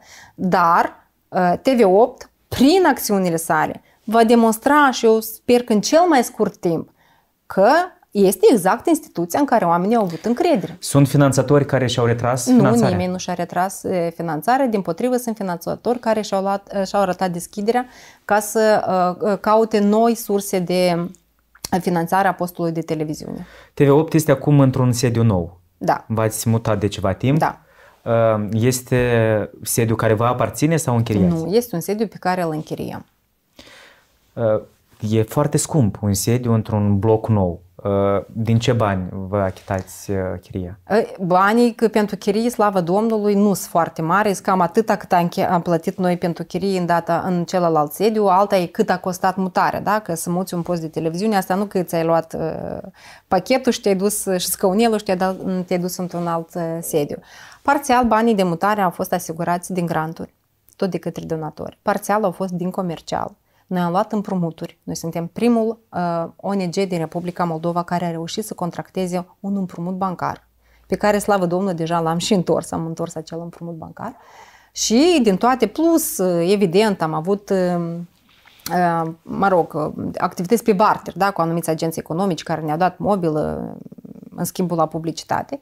Și toate, toate, toate aceste lucruri împreună ne-au ajutat să facem această mutare. Noi, așa, bănuț cu bănuț am adunat ca să putem să ne mutăm. După tot ce s-a întâmplat, au apărut tot felul de discuții. Da. Acum întrebarea, Vyacheslav Platon a dat vreun ban la TV8? Niciodată, niciun bănuț. Noi am verificat totul. Pentru mine, personal, era extrem de important să mă asigur că Platon n-a avut niciodată nicio contribuție, nici măcar de un bănuț. Încercări au fost? Nu cred că au existat contabilitatea nu știe despre astfel de încercări. Noi când am pornit uh, um, Patreonul de la TV8, eu am avut o temere. Asta s-a întâmplat în 2018. Eu am avut o temere ca nu cumva să apară donații din partea unor persoane dubioase, cum este Platon, Șor, alții. Că Acolo le poți returna. Da. Dar pentru ca să ne asigurăm că astfel de persoane nu vor face donații, noi am decis să plafonăm. Deci cât poate să doneze o persoană? Să nu poată da, dona mai mult de, de exemplu, 300 de euro pe an.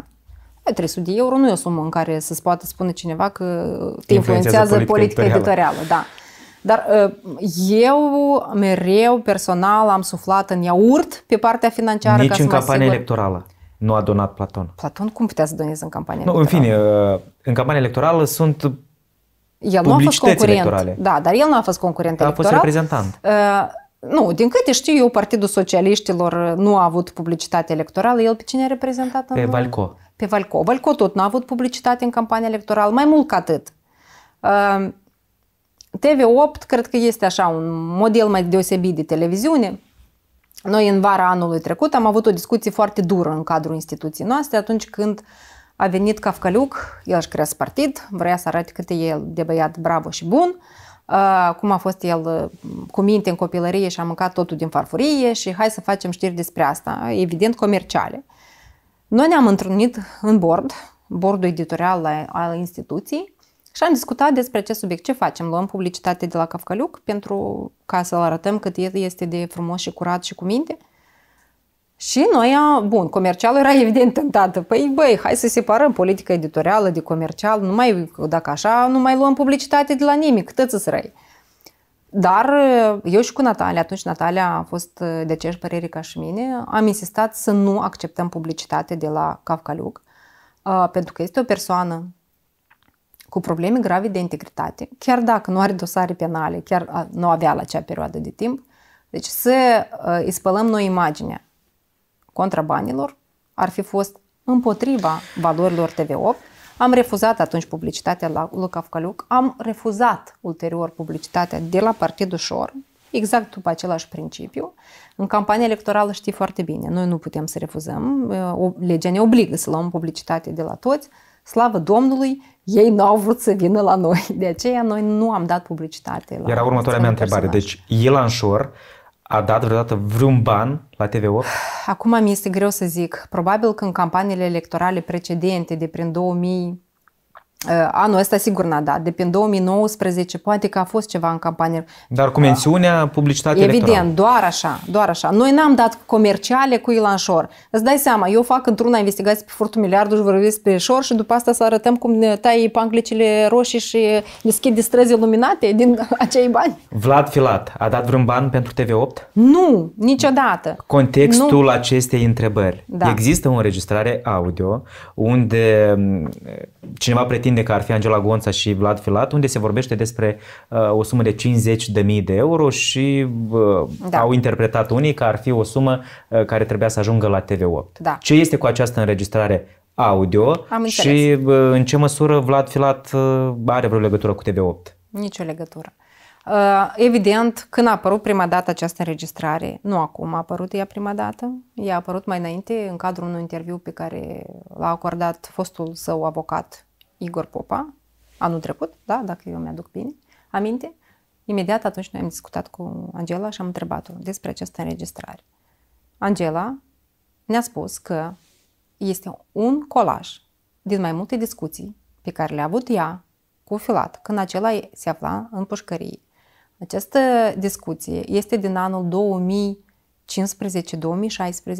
TV8 a apărut în anul 2017 și era vorba despre cu totul altceva. Nu era vorba despre instituții de presă și cu atât mai mult nu are nicio legătură cu TV8. Uh, Angela, acum, a depus o plângere în judecată și urmează să depună o plângere penală ca să înțeleagă cine și cum a trucat aceste înregistrări. În primul rând, cine a avut acces la o discuție pe care a avut-o ea privată cu o persoană care se afla în detenție în acel moment uh, și cum a fost făcut uh, acest, uh, um, acest colaj, da? cum a fost uh, trucată această înregistrare audio. Deci vocile sunt ale lor, doar că este un colaj din mai multe discuții. Da, și nu are absolut nicio legătură, dar asta pot să vă asigur. Nu a avut Filat niciodată nicio legătură cu TV8, cu atât mai mult să dea bani. Eu cred că el are pe ce cheltuie acum banii, altceva decât să dea pentru TV8. Dar TV8 a avut posibilitate, slavă Domnului, să aibă finanțări de la donatori, Uh, ca să-și poată întreține, și din comercial ca să-și poată întreține existența. Noi ne-am dezvoltat între timp. Asta înseamnă că noi am avut finanțări. Iar donatorii, ca să știi, tu știi că lucrezi în proiecte și tu cu ei, uh, ei te verifică, asta este um, revizorul cel rău, da? Pentru că se fac audite pe fiecare proiect separat, pe instituții. Noi anual avem audite pe instituții realizate de donatori. Ei sunt cei care plătesc auditul și ei sunt cei care aleg cine să-l facă. Noi nu avem nicio contribuție decât doar că vine revizorul, îi punem toate documentele la față. Niciun audit nu a arătat niciodată că există o problemă. Pus la asta, în perioada lui Plahotniuc și în perioada lui Dodon, la noi a fost de nici nu știu câte ori fiscul și ne-a verificat. De asemenea, n-au găsit nicio încălcare, pentru că pentru noi era foarte important să avem toate actele în regulă, ca să nu există Doamne ferește, vreo umbră de bănuială asupra instituției. Asta înseamnă să distrugi o instituție dacă tu ești implicată în chestii financiare dubioase. Tu știi ce, reacția donatorilor în astfel de situații. De aceea te asigur că suntem absolut curați. Nu există astfel de bani eh, de la orice fel de persoană dubioasă sau controversată. Tu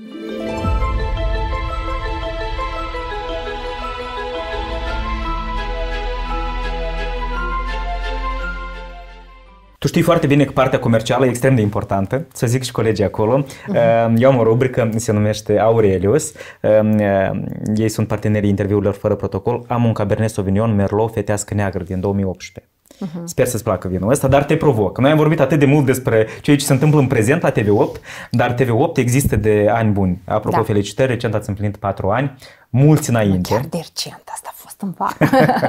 în fine, acum uh, ceva timp. Uh, cum ai ajuns tu la TV8? Pentru că tu erai uh, destul de cunoscută, jurnalistă de investigație, în presa scrisă în special. Da. Uh, și dacă uh, ai un uh, răspuns fain, îți dau vinul ăsta. Ei bine, ți-l dau oricum. ah, ok. Deci poți să am un răspuns nu foarte fain, da? Uh, bun, eu am experiența televiziunii de la Jurnal TV. Că, uh, și la Jurnal TV am făcut parte din echipa care a pornit acel post de televiziune, pornit la modul cel mai serios încă de când era pe internet. Dar am plecat din televiziune uh, fără mare dorință să revin în ea. Sigur că mi s-au făcut oferte să revin în televiziune toată perioada asta de timp. Eu le-am refuzat pe toate. Cum am ajuns la TV8? Am ajuns așa. Într-o zi a venit în ianuarie 2017 a venit Natalia, m-a sunat și a zis hai să ne întâlnim să discutăm. Era o perioadă de timp în care uh, eu aveam un dosar penal deschis uh, la plângerea depusă de fostul comisar, vicecomisar al Chișinăului, Botnar, cel care a bătut tinerii în comisariate. Uh, și el încerca să, hărțuie, să mă hărțuiască prin, așa, prin procese de judecată. Și eram foarte înrăită pe oamenii ăștia răi care uh, dăunează Republicii Moldova. Natalia a venit și mi-a spus că, uite, am o idee, aș vrea să pornim un post de televiziune, dar uh, avem nevoie să facem o echipă, să fie câteva persoane, ca să fondăm o asociație, să pornim toate procesele astea.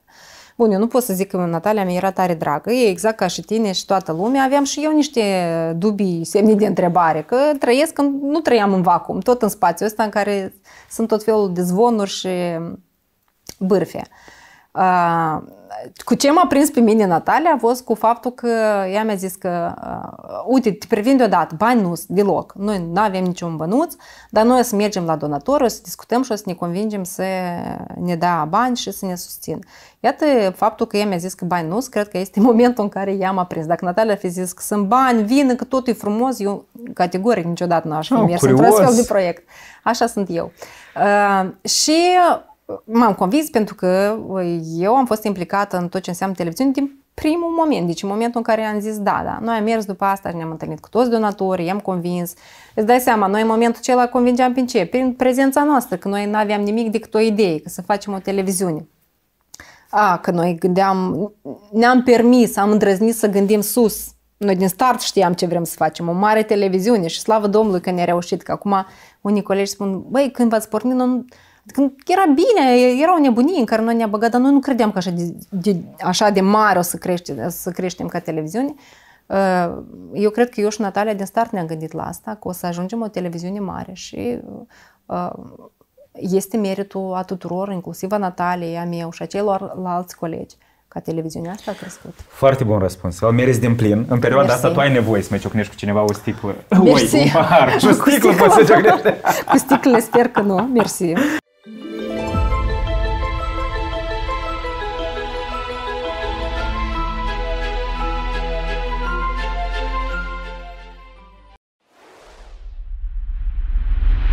După cazul cu Natalia Morar și Veceslav Platon, au început să apară zvonuri deja legate de tine.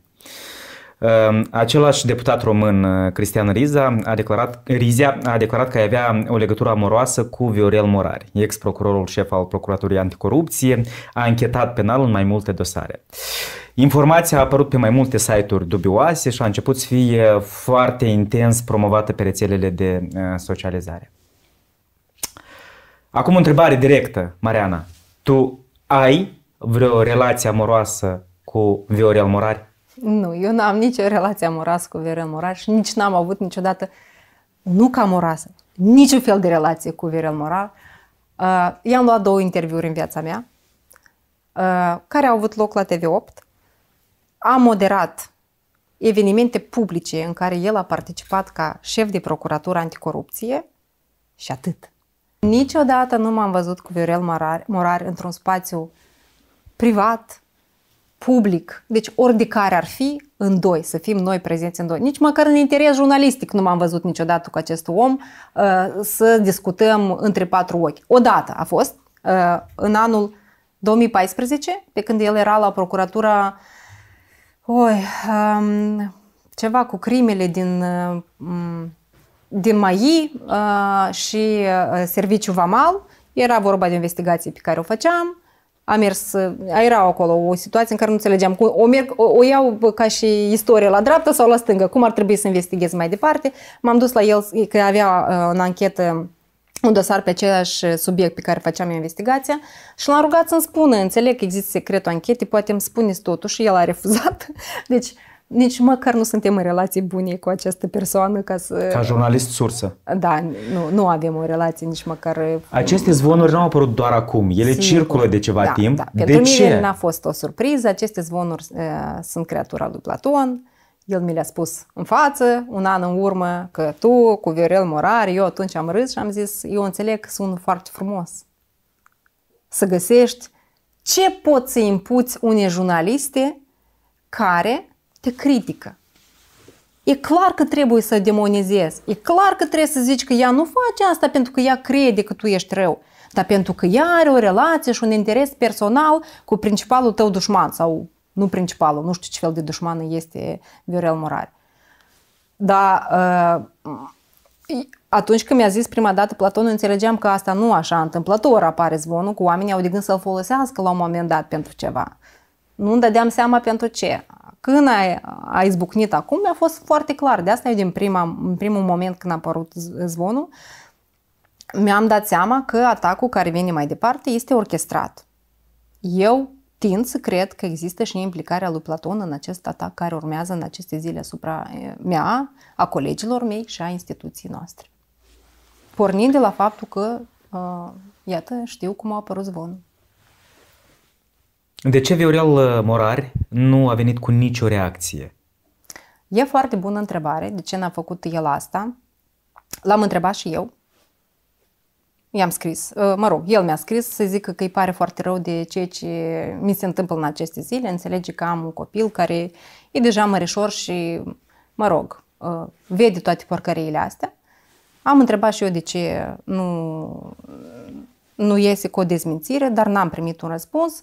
Ceea ce mi-a zis este că a mers cu o plângere uh, în judecată împotriva lui Rizia și cu o plângere la poliție împotriva lui Rizia. Același lucru l-ai făcut și tu? Același lucru l-am făcut și eu mai devreme, imediat, da. Deja ai depus oficial plângerea? Da. Care a fost reacția soțului tău? Tu ești femeie căsătorită, ai un copil, uh, Viorel Morar este și el căsătorit, are soție. Și copil? Copil. da. Ce a zis soțul tău? Uh, soțul meu a înțeles ce se întâmplă. Slavă Domnului, eu am un soț foarte înțelept și înțelegător și care are încredere în mine. El a înțeles ce se întâmplă. Uh, evident, el a râs când a văzut acele... Uh, eu n-am văzut, apropo, eu n-am privit nicio, acea, nicio înregistrare de-a lui Rizia sau altcineva despre toate porcăriile astea. Uh, el le-a privit și a zis, știi, iată faptul că îi spun că el te lua de la lucru și te ducea nu știu unde, eu știu că eu te iau mereu de la serviciu, n-are cum, deci tot e minciună, văd fiecare, pentru că cumva eu uh, eram lângă tine în perioada asta de timp. Adică voi ați luat-o ca glumă.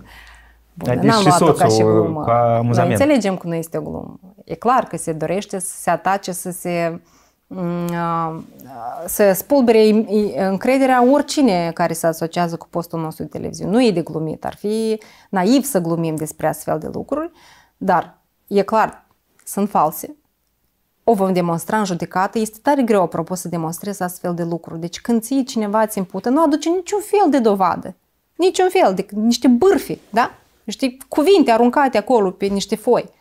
Să demonstrezi că nu este adevărat, prin ce să vă demonstrez că nu este adevărat? Nu este. Nu ne-am întâlnit niciodată. Tu ai avut vreodată sau ți s-au făcut avansuri din partea politicienilor sau a unor procurori? Eu cred că nu există jurnalist care e pe domeniul politic din Republica Moldova care, care să nu-i se făcut vreodată avansuri. Întrebarea este uh, cum reacționezi la ele. Dar cum în reacționai rest, tu? Nici cum. Ar putea undeva să existe o informație, că ai avut întâlniri cu ceva, cu cineva, nu de ordin jurnalist sursă, dar oricare altă întâlnire. Tu ești în, în mass media din 2003, deci în această perioadă. Dorin, uh, cazul, ceea ce se întâmplă acum cu mine, demonstrează că oricui îi se poate imputa orice. Eu nu înțeleg de ce n-au zis că m-am întâlnit cu DiCaprio sau cu Brad Pitt. Cel puțin pe mine m-ar fi măgulit mai mult, trebuie să recunosc. De ce Cristian Rizia face acest lucru? Bună întrebare. Nu am un răspuns uh, ferm să zic că anume ăsta este răspuns. Am mai multe ipoteze. De ce face el? Uh, evident, Riza este foarte vulnerabil.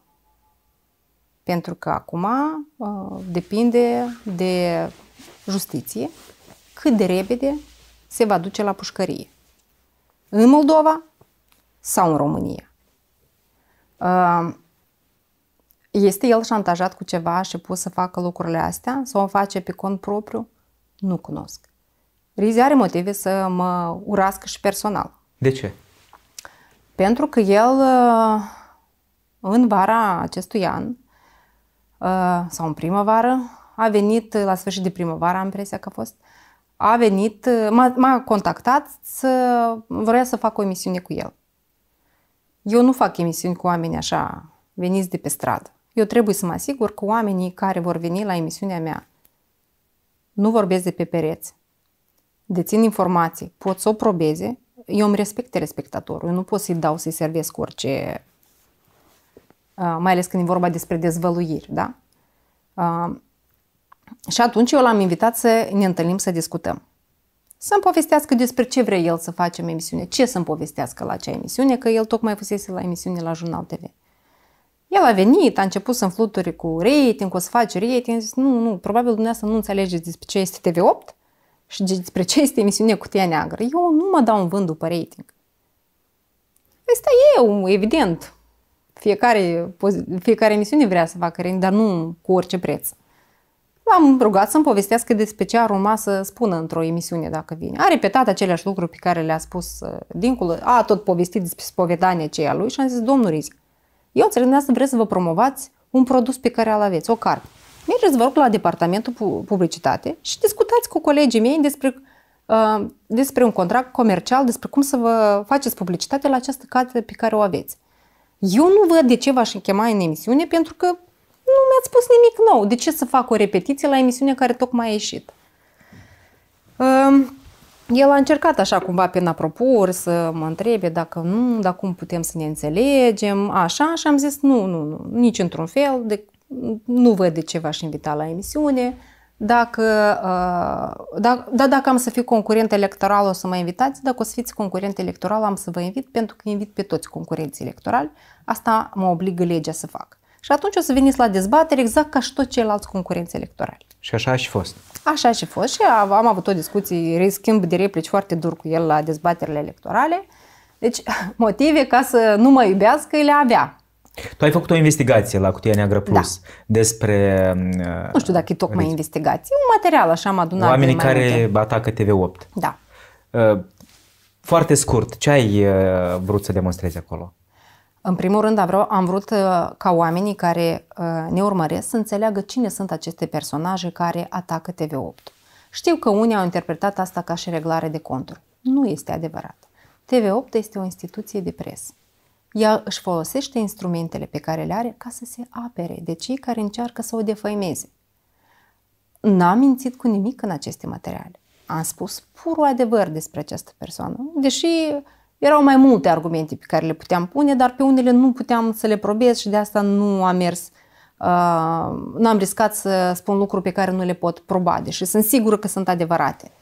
Uh, oamenii trebuie să cunoască cine sunt cei care atacă presa independentă. Pentru că ceea ce se întâmplă acum este foarte grav pentru întreaga societate. Dacă nu, oamenii nu vor înțelege că trebuie să apere presa independentă, creează precedente periculoase. Noi vom deveni ca și presă independentă vulnerabil, nu TV8, toate instituțiile de presă independente.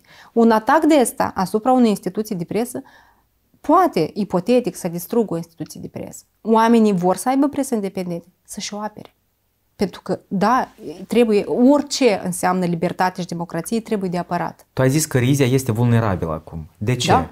Ce are el în spate? Poți să explici în câteva uh, fraze cine este acest fost deputat român, cum a ajuns în Republica Moldova și de ce este atât de vocal? Bun, el este condamnat penal definitiv în România pentru spălări de bani, influențare de martori, mai multe capete de acuzare sunt. El este fugar în Republica Moldova pentru că se ascunde de justiția din România, da? care l-a dat în căutare internațional. Ca să se poată acoperi, el și-a făcut cetățenie moldovenească. Acum, uh, această cetățenie a fost anulată de către Dodon, o procedură foarte interesantă, de ce a făcut-o Dodon și cum. Sunt multe semne de întrebare. Uh, și el este suspendat în aer. Știi de ce? Pentru că dacă Dodon nu și anula, nu anula acel, uh, nu anula cetățenia lui, uh, uh, lui Rizia, Rizia acum făcea pușcărie. În România? În Moldova. Uh, autoritățile din România ar fi transmis dosarul de aici, aici, și instanțele din Moldova ar fi trebuit să pună în executare sentința aplicată în România. Ce se întâmplă acum îi convine foarte mult și acel uh, decret al lui Dodon îi convine foarte mult lui Rizia. Pentru că el este suspendat în aer. El este în procese de judecată pe care le amână, uh, în care, deci acum nu poți să-l bagi la pușcărie, pentru că nu e clar, el este cetățean român sau cetățean moldovean. Unde trebuie să-și execute pedeapsa? În România sau în Republica deci Moldova? Igor Dodon a făcut un joc aici. Eu nu știu dacă a făcut un joc, eu știu doar că lui Rizia îi convine ceea ce a făcut Dodon. Care este raționamentul? De ce lovește în TV8, în Mariana Rață, și nu doar în Mariana Rață, în Angela Gonța, alte jurnaliste și alți oameni cunoscuți? Rizia este foarte vulnerabil în acest moment al vieții sale. De modul în care, de rapiditatea cu care se va examina în instanțele de judecată uh, cererea lui prin care contestă decretul de anulare a cetățeniei sale. Cât de repede se va expune instanța de judecată pe dosarele lui legate de, de, de cetățenie, atât de repede el va ajunge să facă pușcărie. Un om vulnerabil uh, poate fi controlat de alte. Uh, eu nu am probe care să arate de cine e controlat el, dar am motive întemeiate să bănuiesc că acest lucru se întâmplă. Ți este frică de el? Nu. Tu crezi că în continuare, dacă va face asemenea declarații și va insista pentru că înțeleg că nu se oprește mm. la ceea ce a făcut până acum, uh, ar putea face ca TV8 să devină și mai vulnerabil, oamenii să-și piardă încrederea Eu în totalitate? cred că Rizia este un test pentru uh, această societate. Această societate trebuie în sfârșit să înțeleagă ce consumă ca și informații. Este credibil Rizia pentru tot ceea ce spune suntem noi atât de puțin educați încât acceptăm să credem toate prostiile pe care le spune o persoană condamnată penal, care fuge de justiție, să totuși avem demnitatea să nu mai credem chiar toți, toate persoanele dubioase, care atacă și defaimează. Tu ai încercat să vorbești cu el? Nu, de ce să discut? Eu voi discuta cu el când vom ajunge în instanța de judecată. Eu l-am acționat în judecată. Acolo vom discuta. La Dar cu... colegii mei, de fiecare dată când a fost vizat în uh, emisiune sau în, uh, în, uh, da, în emisiune, că altfel n-am unde să discut despre el, i-a luat replica. Deci noi am procedat jurnalistic corect. El nu ne-a întrebat despre uh, cum comentez eu relația mea ipotetică cu Viorel Morari. Nu, el a turnat zoi în capul meu. Noi am procedat jurnalistic. Acolo unde am vorbit despre dosarele lui și problemele lui de justiție, i-am luat replică. Ehm, tu ai făcut uh, o altă anchetă, tot la da. Cutia da. Neagră uh, Plus, despre Vlad Bilețchi. Da. Uh, este cea mai recentă sau una dintre cele mai recente. Cea mai recentă. Unde este un lider unionist care la fel a criticat în ultima perioadă TV8. N-a criticat, argumentat. a turnat zoi. Da. În fine, în După contextul acestui scandal. Da, da, da. da. Deci, Uh, tot el a publicat uh, sau are amintit de acea înregistrare audio între Angela Gonța și Vlad da. Filat uh, și tu ai menționat, există opinii că ceea ce face acum uh-huh. Mhm. TV8 sunt reglări de conturi cu cei care își permit să critique postul de televiziune. Uh-huh. Am văzut și reacția lui Vlad Bilețchi pe, da, pe evident Facebook. că Vlad Bilețchi așa o să reacționeze. Deci voi sunteți acum enervați de tu ceea ce se întâmplă? Tu când ești bătut, ce faci? Baci capul în pământ și aștepți loviturile sau încerci să te aperi? Te aperi? aperi. Voi contraatacați acum. Noi am mers în judecată să ne apărăm. Ceea ce facem noi este să ne uh, îndeplinim obligația noastră, prevăzută de lege, de a informa oamenii. TV8 este în centrul unui scandal. Recunosc. Noi înțelegem acest lucru. De ce este important să explicăm cine sunt cei care ne atacă. Oamenii au dreptul să fie informați ca să-și poată face niște concluzii.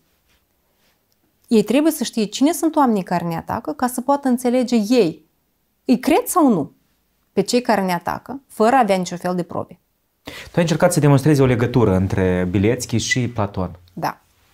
Crezi că ai reușit? Nu știu, eu am spus ceea ce am putut să demonstrez. Oamenii de acasă sunt cei care trebuie să decidă. Cred, e suficient, eu n-am putut să fac ceea ce face Bileschi, să torn minciuni și să, uh, să calomniez.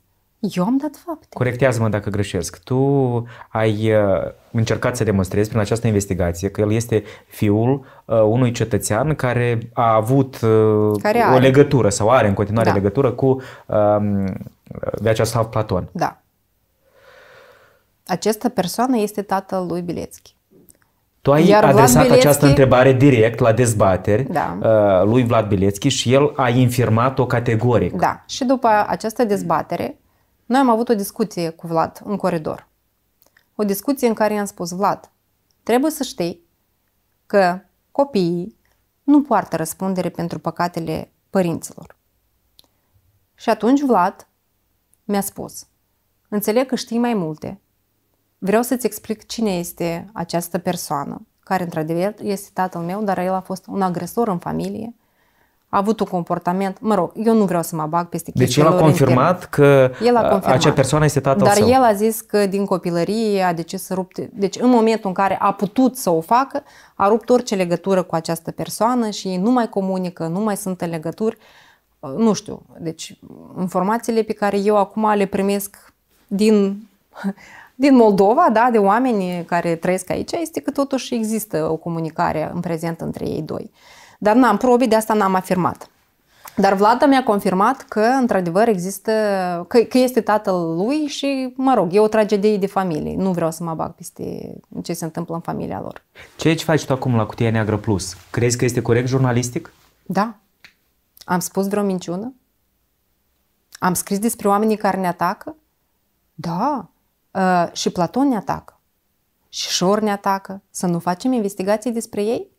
pentru că ne atacă, dacă este argumentul, atunci foarte curând presa nu mai poate face deloc investigații. Pentru că băieții o să prindă firul și o să ne atace pe toți și o să zică, a, ești în conflict de interese, te răzbuni dacă faci investigații. Urmează și mine. altele? Urmează investigații, evident. Uh, o, unul dintre obiectivele de bază ale TV8 în continuare, pe lângă, noi acum lucrăm pe noi formate de emisiuni, noi emisiuni pe care să le lansăm la postul nostru de televiziune. Iar un obiectiv mare al nostru este crearea unui departament de investigații. Prima dată în Republica Moldova, un post de televiziune să aibă un departament întreg care face investigații. Asta este greu, asta este foarte scump. De asta suntem în discuții cu donatorii, cu partenerii eh, de dezvoltare a Republicii Moldova și, mă rog, și ai TV8, ca să ne ajute financiar să putem crea un astfel de departament și, departament și evident investigațiile vor continua. Pentru că noi înțelegem tare bine motivul acestor atacuri. TV8, uh, scopul este să închidă gura TV8 pentru că este prea bătăios, prea vocal și prea multe uh, lucruri își permite să spună despre criminalii și corupție din Moldova. Cine sunt cei care vă atacă? Ai câteva nume? Uh, n-am să dau numele lor, pentru că în cazul în care mă dau în judecată, va trebui să probez implicarea lor directă uh, și s-ar putea să am o dificultate să probez. Că evident ei nu sunt așa de proști încât să o facă vizibil, dar pot să-ți spun că o bună parte dintre ei au fost eroi investigațiilor mele jurnalistice. Nu este doar o singură persoană, sunt mai multe, sau acum așa unit forțele, pentru că au un dușman comun, știi? Uh, uh, dușmanul dușmanului meu este prieten. Cam așa funcționează la ei. Care este obiectivul final al lor? Ai reușit să înțelegi decapitarea TV8? Adică... Distrugerea um... postului de televiziune, foarte clar. Deci scopurile sunt multiple. Păi da, lovesc dacă în fețele doar... TV8. Da, Mariana pentru că, Rață, Angela Evident, Gonța. pentru că dacă o să distrugi fețele, o să fie mai ușor să distrugi televiziunea. Dar nu înțeleg un lucru, oamenii ăștia. Că TV8 nu sunt niște fețe. TV8 este o instituție. Decapitând niște uh, fețe ale televiziunii, nu distrugi instituția. Constituția va continua să existe și va continua să-și facă munca pentru că obiectivul este să lupte împotriva corupției și pentru adevăr și democrație. Și asta o să facă indiferent ce o să facă ei. Oricât o să lovească în acest post de televiziune. Noi nu sunt, deci scuzați-ne, dar noi balauri am văzut uh, slavă Domnului de când lucrăm în presă. Eu am aproape 20 de ani de presă. Uh, mulți au încercat să mă sperie. Și cred că doar faptul că sunt curată și n-am păcate pe care să ne le poată imputa, i-a făcut ca să nu poată să o facă. Apropo despre asta, tu ai vorbit uh, despre investigații, că mulți jurnaliști uh, evită, mulți jurnaliști buni evită să se apuce de investigații pentru că le este frică sau pentru că e mult de muncit.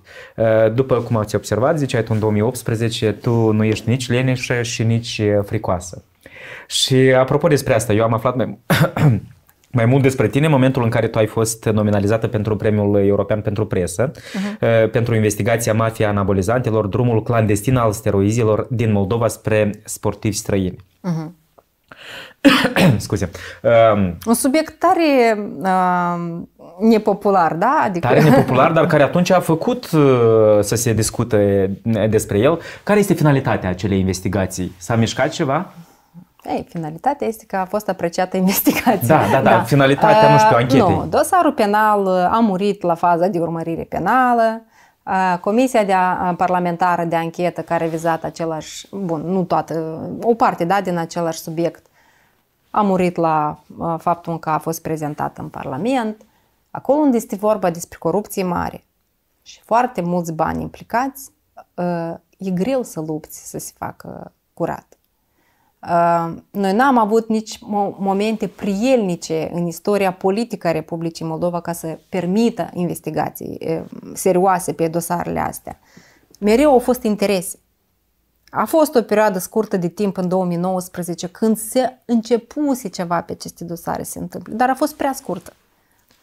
Dar iată tot ce se întâmplă cu aceste anabolizante. Crezi că în continuare Da, în continuare. Nu, nu, din câte știu eu, nu este la aceeași uh, uh, valoare, nu, nu în asemenea cantități, dar anabolizantele în continuare. Și cazul cu ambasada Federației Rusiei, în care a fost implicat, mă rog, ambasadorul, uh, a fost un ambasador, demonstrează, da, acolo, dacă ți minte, era vorba despre de transportarea ilegală de anabolizant, demonstrează că, da, subiectul rămâne actual.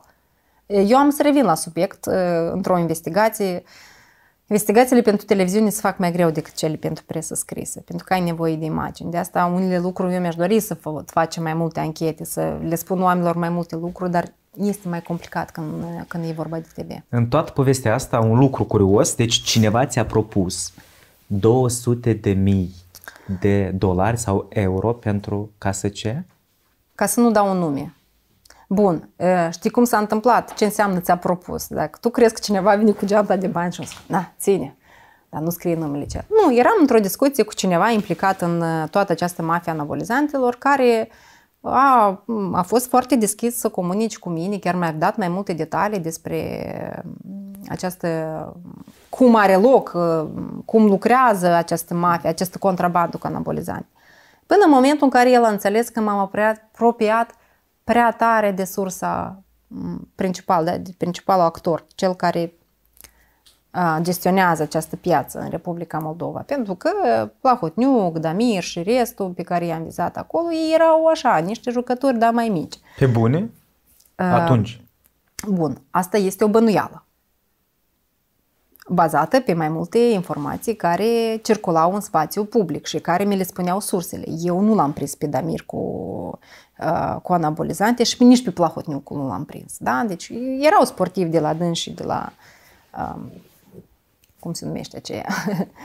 În fine, da. știm. FEA sau, da, care, mă rog, spuneau că ei, sportivii lor, erau injectați cu, adică li se dădeau aceste... Bun, dar mulți sportivi le folosesc, adică, mă rog. Dar cum ți s-a propus suma asta? Deci, m-am întâlnit cu această persoană, la un moment dat, el îmi spunea, vorbea, parcă era destul de jovial și până în momentul în care l-am întrebat un nume a unui cetățean român, Alin implicat în... Eu nu știam, deci cu adevărat nu știam mai mult. Știam că este implicat în oarecare Alin, pentru că mie îmi spuseseră cineva care a fost implicat în mafia asta nebolizantelor de peste hotare. Și când am discutat cu străinul celălalt și l-am întrebat despre unde să caut, cum să caut, zis caută-l pe Alin. Iată de urmele lui Alin. Cine e Alin? Nu-mi dădeam seama. Și în momentul în care am întrebat sursa asta mea, cine este Alin, s-a schimbat la față. Și m-a întrebat, de unde știi de Alin? Dar și eu, să nu par proastă, zic, știu ce treabă are, adică să văd dacă pot așa să scot mai multe informații. El s-a speriat că știu prea multe lucruri și atunci a scris pe o foaie cifra și a zis atât pentru ca tu să nu scrii despre Alin. 200 Dacă... de mii de euro sau dolari? de euro, dar bun. Deci acum se zice că mi-a dat mită sau a încercat să-mi propună mită, nu. A desenat o cifră pe o foaie, dându de înțeles că uh, un jurnalist te afară la cap, înțelege foarte bine. Doamne ferește să te baci în astfel de chestii. Te-ai compromis pe viață. Nu, te, nu doar te-ai compromis, riști să faci pușcării. Și eu sper că jurnaliștii din Republica Moldova înțeleg asta foarte bine și nu se bagă nimeni în astfel de rahaturi. Tu ai mai făcut în ultima perioadă mai multe investigații. Vreau foarte rapid să menționez câteva dintre ele. Faimoasa clădire a Hotelului Național, Da. unde ai demonstrat legătura directă cu Plahotniuc. Asta Mister- mai mult aici, hai să fim corecți. Deci investigațiile nu le face Mariana Rațchi, nu e de E asta. echipa, echipa. Da, e o echipă care, că nu pot eu să le fac pe toate. Există o echipă care lucrează, Stella Mihailovici, ea lucrează foarte mult, cel mai mult lucrează la investigațiile de la Cutia Neagră Plus, așa că, în primul rând, mulțumiți Steli că ea este super bună în ceea ce face. Da. Și o altă investigație, uh, misterul identităților false ale lui Plahotniuc și cum se citește norm, corect, uh, Jashi, da? Vaja Geași, da. Jashi. Da.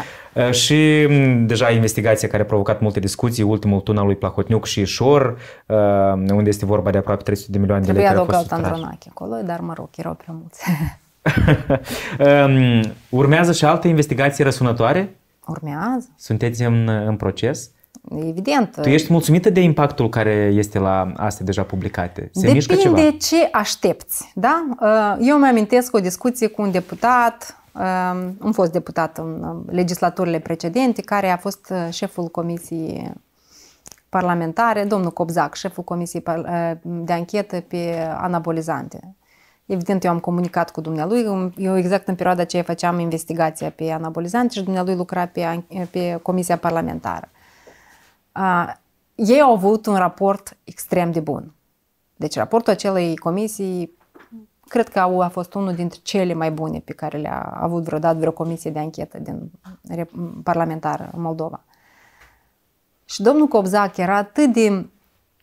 A, avea așteptări atât de mari, zicea, "Ii, când o să scoatem aceast, acest raport de, o să vezi, o să scadă jumătate de guvern, a, o să fie o mare m, revoluție în domeniul politic în Moldova și am zis, nu vreau să vă dezamăgesc, dar important este să nu ne punem așteptări prea mari ca să nu avem o dezamăgire prea mare. A, De obicei nu se reacționează așa la anchetele jurnalistice și nici la comisiile parlamentare de anchetă. A, Pe investigațiile mele de obicei se reacționează, dar la o distanță de 2-3 ani. Mai Iată, peste așteptăm. 2-3 ani de zile, când există interes politic sau de altă natură ca să uh, pornească un dosar în privința unei persoane, ei își amintesc de faptul că există niște investigații despre aceste persoane. Da, noi atunci suntem folosiți ca și pretext. Dar, uh, m- cum să zic, important este ca răul să fie pedepsit. Sigur că eu îmi doresc să nu fie existe justiție selectivă, uh, ceea ce este de asemenea foarte grav. Dar ca finalitate este foarte important că toți cei care fac crime, care comit ilegalități, să ajungă să răspundă pentru asta. Mariana, ceea ce faci tu acum este extrem de periculos. Uh, și bă, există interese, există mulți bani, oameni uh, diferiți. Ție, este, ție ți este frică pentru siguranța familiei tale? Da, eu nu pot să neg că mie mi-este frică pentru siguranța familiei mele.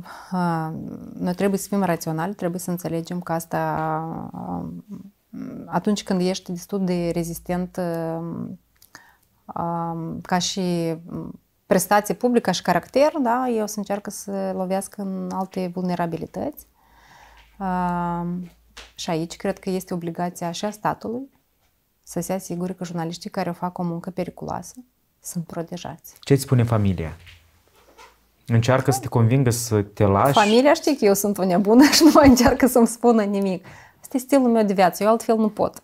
Eu eram în concediu de maternitate și la patra lună de concediu de maternitate, după ce a născut copilul, eu vroiam să ies la lucru, că eu nu, nu vedeam existența în afara muncii pe care o fac. Dar acum tu ai timp pentru familie. Din păcate, foarte puțin și eu știu, știu și sunt conștientă că voi regreta. Pentru că acum nu am suficient timp ca să dedic copilul meu, soțul meu. Um, norocul meu este că eu am o familie foarte bună și înțelegătoare care mă susține. Deci eu cred că am reușit multe lucruri să le fac anume grație lor, pentru că ei m-au susținut. A, că sunt supărat și bomojez și da, evident, dar ei niciodată nu m-au oprit să, din ceea ce vreau să fac. M-au susținut mereu. Amenințări în această perioadă ai avut sau doar semnalele astea de pe online pe care le nu, vedem? Nu, n-am trăznit nimeni să mă amenințe. Mesaj. Eu, apropo, n-am primit niciun mesaj negativ. Multă lume zice că primește mesaj negativ. Eu am primit doar mesaj de susținere. Apropo, de peste tot și din politic, din primul rând din societatea civilă, din telespectatorii noștri, și din politic, și din justiție, și din procuratură, și de peste tot. Deci oameni care înțeleg că ceea ce se întâmplă cu noi este o, o ilegalitate și că se dorește uh, închiderea gurii presă independentă, sunt mulți și asta mă bucură. Amenințări nu, eu în general nu prea am primit amenințări. Depinde cum tratez chestiile cu amenințări. Da? Când un politician vorbește urât sau un platon vorbește urât cu tine, Asta e amenințare? Da, asta e lipsă de educație.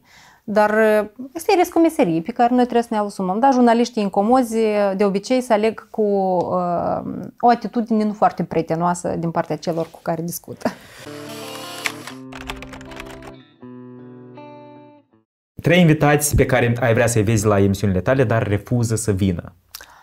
Stoianoglu ar fi unul, Dodon, Mie îmi plac emisiunile în care am um, contracandidații cu care pot avea discuții hard. Așa. Am ce să-i întreb hard. Și a treia? Um, dacă Plahotniuc mai era în politică, aș fi vrut cu el, dar acum nu mai vreau. e bine, doi și, da. și buni. Cât de mult contează pentru tine audiențele? Nu sunt cele care uh, sunt cele mai importante pentru mine. Evident, uh, ca să poți informa public, orice jurnalist vrea ca mesajul lui să ajungă la cât mai multă lume. Ca să poți avea acces la un public cât mai mare, trebuie să ai audiență. Uh, dar nu poți de dragul audienței uh, nu poți să jertfești uh, de dragul audienței conținutul. Da? De ce eu ceea ce cer să fac este echilibristică să fac emisiuni care îmi sunt dragi inimii și care eu cred că ele sunt importante să apară, la care, din păcate, se uită foarte puțin în lume. Și emisiuni care lumea se uită, înjură, te urăsc că le-ai făcut, dar așa se uită la ele. Ești invidioasă pe colegii de la alte posturi de televiziune care au audiențe mai mari la emisiuni? Nu sunt invidioasă. Eu sunt omul care toată viața uh, sa a iubit concurența concurența mereu m-a motivat să devin mai bun și dacă m-a ajutat ceva să devin mai bun, sunt tocmai concurenții care erau mai buni decât mine. Când ultima dată ai plâns? Anul ăsta nu. Eu plâng foarte rar. Ce înseamnă pentru tine libertatea? Libertatea este despre faptul ca să faci ceea ce gândești și crezi că este corect. Tu personal ai iertat-o pe Natalia Morar pentru faptul că nu v-a anunțat de la bun început despre acel conflict de interese? Eu pe Natalia sunt supărată, dar eu nu pot să nu îi mulțumesc pentru faptul că noi împreună, că ai avut ideea de a porni TV8 și că noi împreună am pornit acest post de televiziune. Natalia a avut o contribuție foarte mare în apariția și creșterea postului de televiziune TV8. Și eu nu pot să fiu o ticăloasă și să nu recunosc aceste lucruri. Ceea ce s-a întâmplat mai departe, din momentul în care a intervenit relația ei cu Platon, m-a supărat foarte mult. Această supărare mai este în mine. Eu nu știu dacă pot vorbi despre iertare. Eu nu sunt nici Dumnezeu, nici preotul ca să iert. Dar eu nu înțeleg ce a făcut ea. Natalia, cu siguranță o să urmărească acest interviu sau dacă nu, cineva o să-i transmită. Ce ai vrea să-i spui tu, scurt? Nu cred că vreau ceva să spun, cred că ce am avut să spun, i-am spus. Ce te-ar face să renunți la jurnalism? nu știu. um, să obosesc la un moment dat. În orice caz, nu situațiile dificile, da? Iată, astfel de situații, că acum pe mine nu mă pot face să renunț. Așa sunt eu încăpățânat. Provocările mă provoacă ca eu să, să insist și să, să lupt da? ca să obțin victorie. Și TV8 este un post de televiziune victorios, de aceea noi acolo toți suntem așa ca mine. Toți sunt niște luptători. Asigur, cum mă vedeți pe mine, așa știți că e toată echipa aceea. Eu aș putea să plec din presă în momentul în care am să mă plictisez. Lucrurile astea o să fie foarte bine, nu o să mai fie atâta corupție, nu o să mai fie atâta mizerie în politică. E dacă te gândești tu cam când se poate întâmpla, asta cred că la Sfântul nu așteaptă. Prindem, nu prindem noi. reușesc să ies la pensie. Bun, eu sigur că sunt tentată să fac și altfel de... Eu am și altfel de colaborări, dincolo de presă, consultanță pe uh, domeniul riscurilor în afaceri. Asta m-a tentat să fac.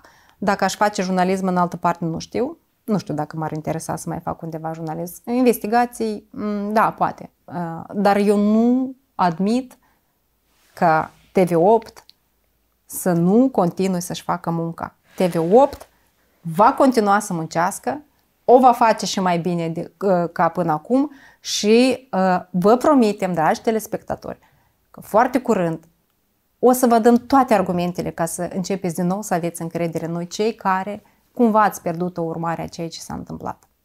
Cât de mult contează pentru tine banii? Nu foarte mult, dar evident, eu sunt om, trăiesc pe ceva. Um, eu nu am un soț care este un mega om de afaceri și aduce banul și eu nu pot să mă gândesc la asta. Uh, dar uh, eu duc un mod de viață destul de uh, chipzuit, fără excese. Îmi permit din salariile pe care le avem și eu și soțul meu să trăim viața pe care o trăim. Când nu mi-ajunge, mă mai bag în proiecte noi și mai fac studii, analize, dezbatere, alte chestii care să-mi permită un venit în plus. De aceea, din punct de vedere financiar, eu nu am vulnerabilități. Pe mine cu asta nu pot să mă ia. Ai multe schelete în dulap? Nu, parcă nu, că dacă le aveam, cred că avea să le aflați acum, să le scoată pe toate. De asta e, cum să zic, le doresc imaginație și îi rog să fie un pic mai creativi atunci când inventează porcării despre mine. Și Mariana, ce contează cu adevărat în viață? Cel mai important lucru, știi care este? Atunci când te scoli dimineața și te uiți în oglindă, să, să fii mulțumit de omul pe care îl vezi acolo. Să nu-ți fie, să nu-ți fie rușine uh, de ceea ce vezi în oglindă.